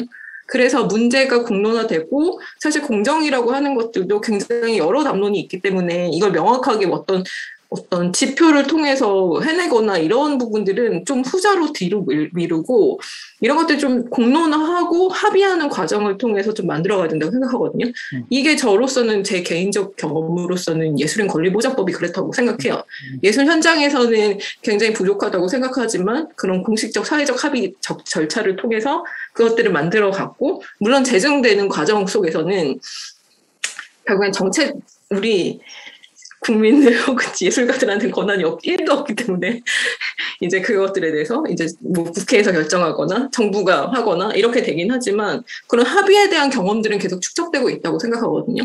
그래서 이제 그런 어떤 생태계 문제 사실 오늘 마지막으로 이제 말씀드리려고 했었던 것도 예술 생태계와 관련돼서 아르코가 이런 것들의 정, 생태계의 문제, 이 뭐라지 공정한 부분, 그러니까 공정하고 투명한 것들이 예술 생태계에서 아르코 예술 생태계 일원으로 생각했을 때 어떤 과제를 가져야 되는가라는 것들이었거든요. 말이 길어서 죄송합니다. 너무. 음.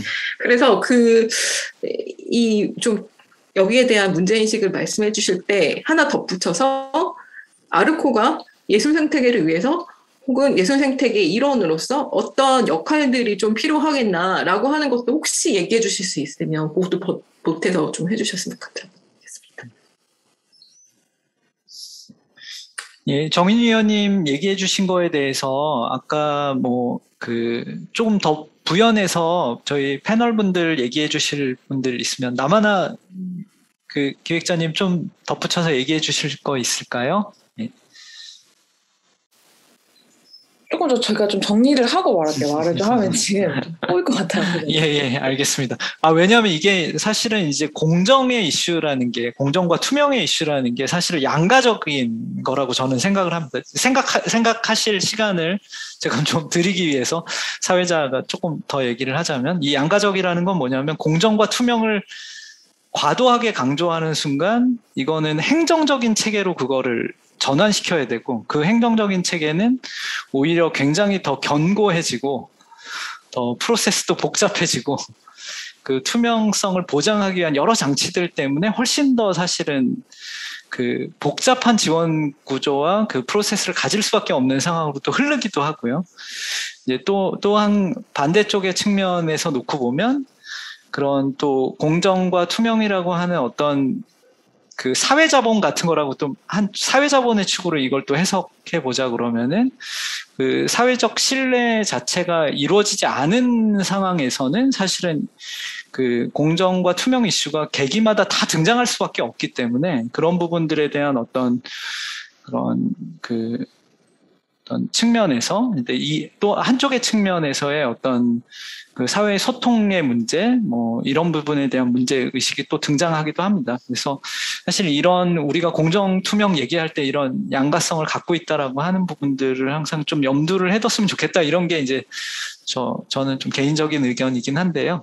그래서 뭐 나마나 작가님 이 부분에 대해서 좀 얘기 더 하실 게 있으신가요?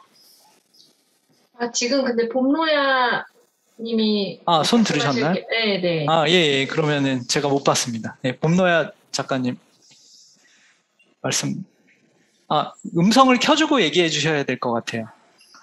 아, 남하나 기획자님이 생각을 정리하실 동안 빠르게 아. 답하고 아, 예, 예. 저는 어 참여예산제가 생각났어요. 그러니까 음. 제가 제일 흥미로웠던 부분은 몰랐거든요.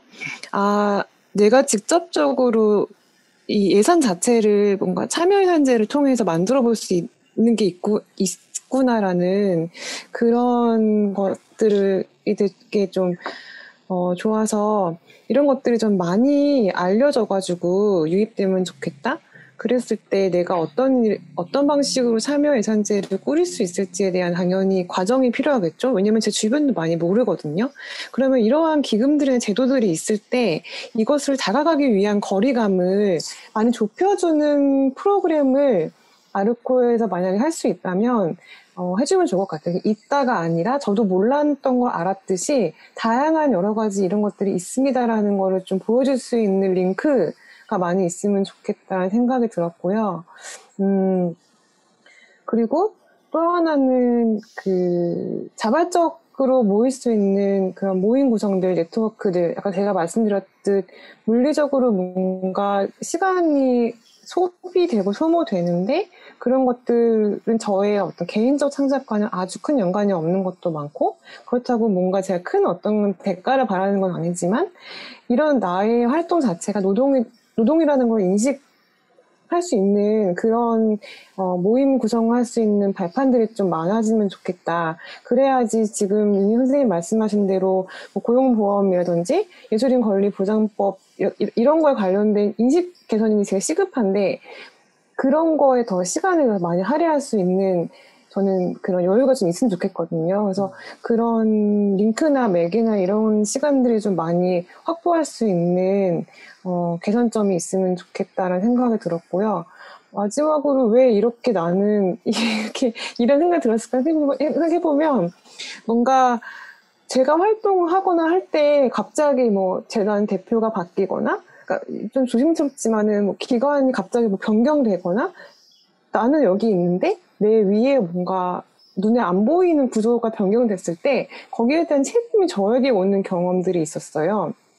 그래서 이건 아주 큰 문제라고 생각 들고 어 그, 래서 이런 문제의식을 생겼거든요. 그래서 어, 이- 이- 이- 이- 그런 신뢰는 너무 당연한 건데 어, 많이 좀 어떤 실험이 됐든 많이 이루어져서 좀 더 가깝게 소통될 수 있으면 좋겠다는 생각이 들었습니다. 감사합니다. 그, 예, 뭐, 예, 감사합니다. 저희가 사실 이게 오프라인으로 하면 한 뭐 5분, 15분 더 충분히 얘기 나누고 끝내도 상관없는데 온라인으로 지금 진행하고 있는 중에 있어서 저희가 사실 정시에 맞춰야 되는 상황이 됐습니다. 근데 딱 지금 5시 29분이 돼가지고 아마 마무리 발언들 이렇게 좀 듣는 시간 가져야 될 것 같은데요. 우선은 사실 이제 성현주 위원님 발제에서 어 우선 그 다 많은 통계들을 소개해드리지는 못했어요. 근데 이제 이 소개 못 해드린 것 중에 재밌는 것들도 되게 많습니다. 예를 들면 예술 지원 체계의 방향을 장르 중심 예술 지원 구조 안에서 변화를 꾀어야 되느냐, 아니면은 뭐 시대적인 변화에 따라서 어떤 뭐 art and technology인지 뭐 locality라든지 이런 것들의 특별한 주제를 만드는 트랙을 어, 해, 하면서 이 변화에 대응하는 게 좋으냐 이렇게 또 이것도 양자 선택으로 질문을 드렸는데 이게 거의 거의 동일한 응답이 나왔습니다. 그러니까 장르 구조 안에서의 변화 가 4.7이 나왔고 7점 만점에 그다음에 시대 상황에서 어떤 변화 대응하는 별도의 트랙을 만드는 활동은 4.9점 약간 높게 나왔거든요.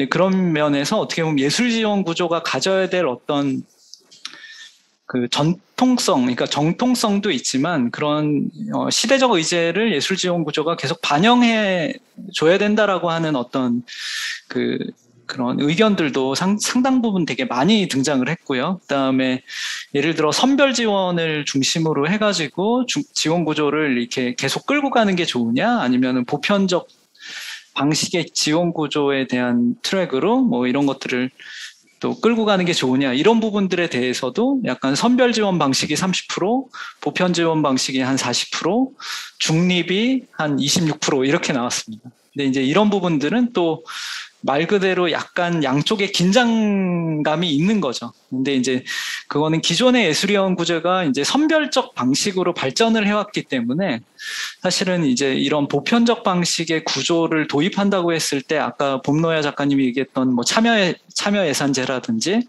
어 이런 보편적 사업 구조가 만들어지는 어떤 과정 자체를 보다 더 예술 현장과의 어떤 밀접하게 이걸 만들어 나가야 되는 부분들도 되게 중요한 숙제겠구나라고 하는 생각을 제가 사회자로서의 코멘트를 먼저 좀 마치고요. 그 지금 그 세 분 패널 먼저 좀 오늘 토론에 대한 소감 간단하게 듣고 두 분 발제자 얘기 듣고 예, 이본 세션은 마치도록 하겠습니다. 예, 그러면은 고한나 연주관님 먼저 예, 말씀해 주시죠. 네, 그 길게 할 얘기는 없고요. 네, 네 잘 들었습니다. 감사합니다. 불러주셔서 감사합니다. 맞습니다. 네. 저는 사실 이게 FGI나 사실 그런 자리에서 조금 더 유연한 대화들이 더 많이 나왔던 것 같고 그래서 사실 이런 딱딱한 자리가 조금 더 그리고 특히나 이렇게 온라인에서 시간 제약이 있었을 때는 이게 좀 아쉬운 점이 되게 많은 것 같아요. 저 스스로도. 어, 앞서 이제 정희쌤 질문하신 거에 있어서는 또 다른 자리나 아니면 제가 또 발언할 수 있는 자리에 좀 정리된 언어로 말씀을 드리고요.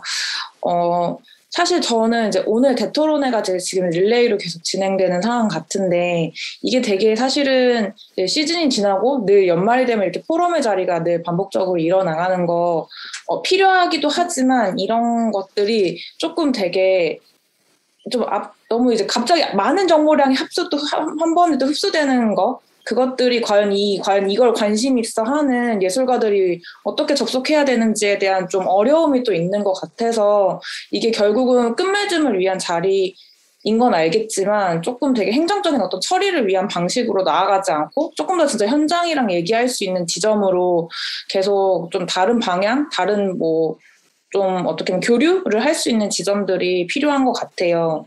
늘 좀 어떠한 제가 말이 길 죄송한데 문예이가 진행하는 방식과 다른 어떤 게 비교될 수밖에 없는 거는 나아가는 지향 자체나 방향성이 다르겠지만 조금 더 이제 변화되는 어떤 지점들을 모색한다고 했을 때 그게 좀 더 정말 현장의 예술가들에게 좀 다가갈 수 있는 아직도 저희 저희에게는 문예는 아르코는 되게 높은 벽 같고 되게 딱딱하고 좀 아직도 위험 있는 곳이라서 저희 되게 어렵거든요. 그렇지 않은 방식이 무엇인지 좀 더 고민을 할 수 있는 시간들이 좀 더 필요하지 않을까라는 생각이 듭니다.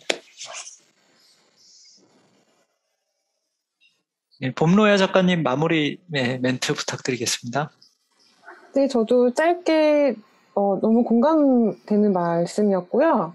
어, 오늘 나눴던 꼭지들 하나만 가지고도 되게 많은 얘기를 할 수 있는 것 같아서 또 저희뿐만 아니라 많은 예술인 분들이 각각 꼭지에 관해 가지고 얘기할 수 있는 자리가 있으면 좋겠다는 생각이 좀 들었습니다. 감사합니다.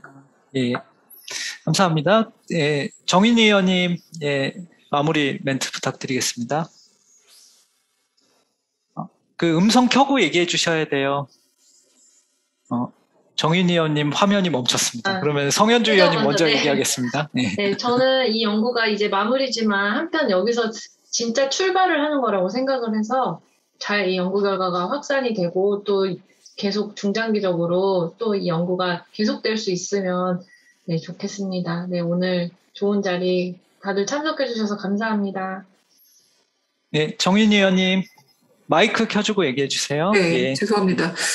저는 사실 이번 현재성 연구를 통해서 나온 이제 진단된 결과들이 실질적으로 아르코 이제 뭐 지원 제도라던가 정책에 좀 반영됐으면 좋겠다. 근데 아까 보여드렸듯이 혁신 의제, 혁신 과제랑 연결되는 것들이 굉장히 많아요. 그렇기 때문에 좀 아르코가 과감할 필요가 있겠다. 그러니까 계속 예를 들면 공존하고 있거든요. 전문위원들과 또 변화되는 것들이 계속 공존하는데 계속 공회전되는 느낌인 거예요. 이도 저도 아닌 느낌이 되, 들어서 사실은 지금 변화의 국면이라고 생각을 하고 있고 어떤 면에서는 아르코가 굉장히 앞서서 제도 개혁을 하고 있는 지점도 있기 때문에 사실 현재성 연구를 통해서 이제 예술가들의 목소리가 잘 정리되고 되고 연구 방식을 좀 정리를 해본 거죠. 그리고 잘 반영이 돼서 좀 실질적으로 이것들이 효과를 발휘했으면 좋겠다라는 의도가 좀 굉장히 많이 보이죠. 그래서 오늘 좀 제가 약간 부족하게 좀 말씀드렸고 상황도 안 좋아서 음, 좀 죄송스럽고요. 어, 다른 자리에서 이 얘기들을 저희가 또 만나면 이어갔으면 좋겠다는 바람이 있습니다. 감사합니다.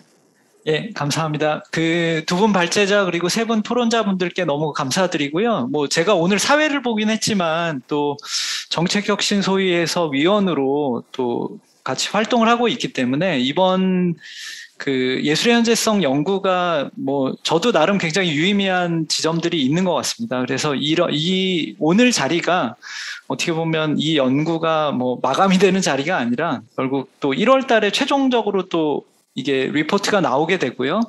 그리고 오늘 사실은 뭐 질문이나 이런 것들을 많이 받지는 못했는데 오늘 또 지역문화재단 관계자들이나 이런 분들이 많이 또 이 유튜브나 이렇게 시청을 하고 계시다고 얘기를 들었어요. 그래서 아마 예술위원회뿐만 아니라 또 이 각 지역 단위에서의 문화재단들의 활동에 있어서도 이런 연구들이 뭐 이런 내용들이 좀 잘 그 소개되고 확산될 수 있도록 하고 또 예술가 분들과 이 얘기들을 좀 지속할 수 있는 또 어, 그런 자리들을 앞으로 또 계속 만들어 나가겠다라고 하는 말씀을 드리면서 예, 오, 그 저희 이번 네 번째 세션은 마치도록 하겠습니다. 그리고 다음 주 월요일 뭐 13일, 15일, 17일, 20일 이렇게 지속적으로 지금 현장 대토론회가 예정되어 있으니까요. 또 지, 계속해서 많은 어, 관심 이렇게 부탁드리겠습니다. 예, 그러면은 감사합니다. 마치겠습니다.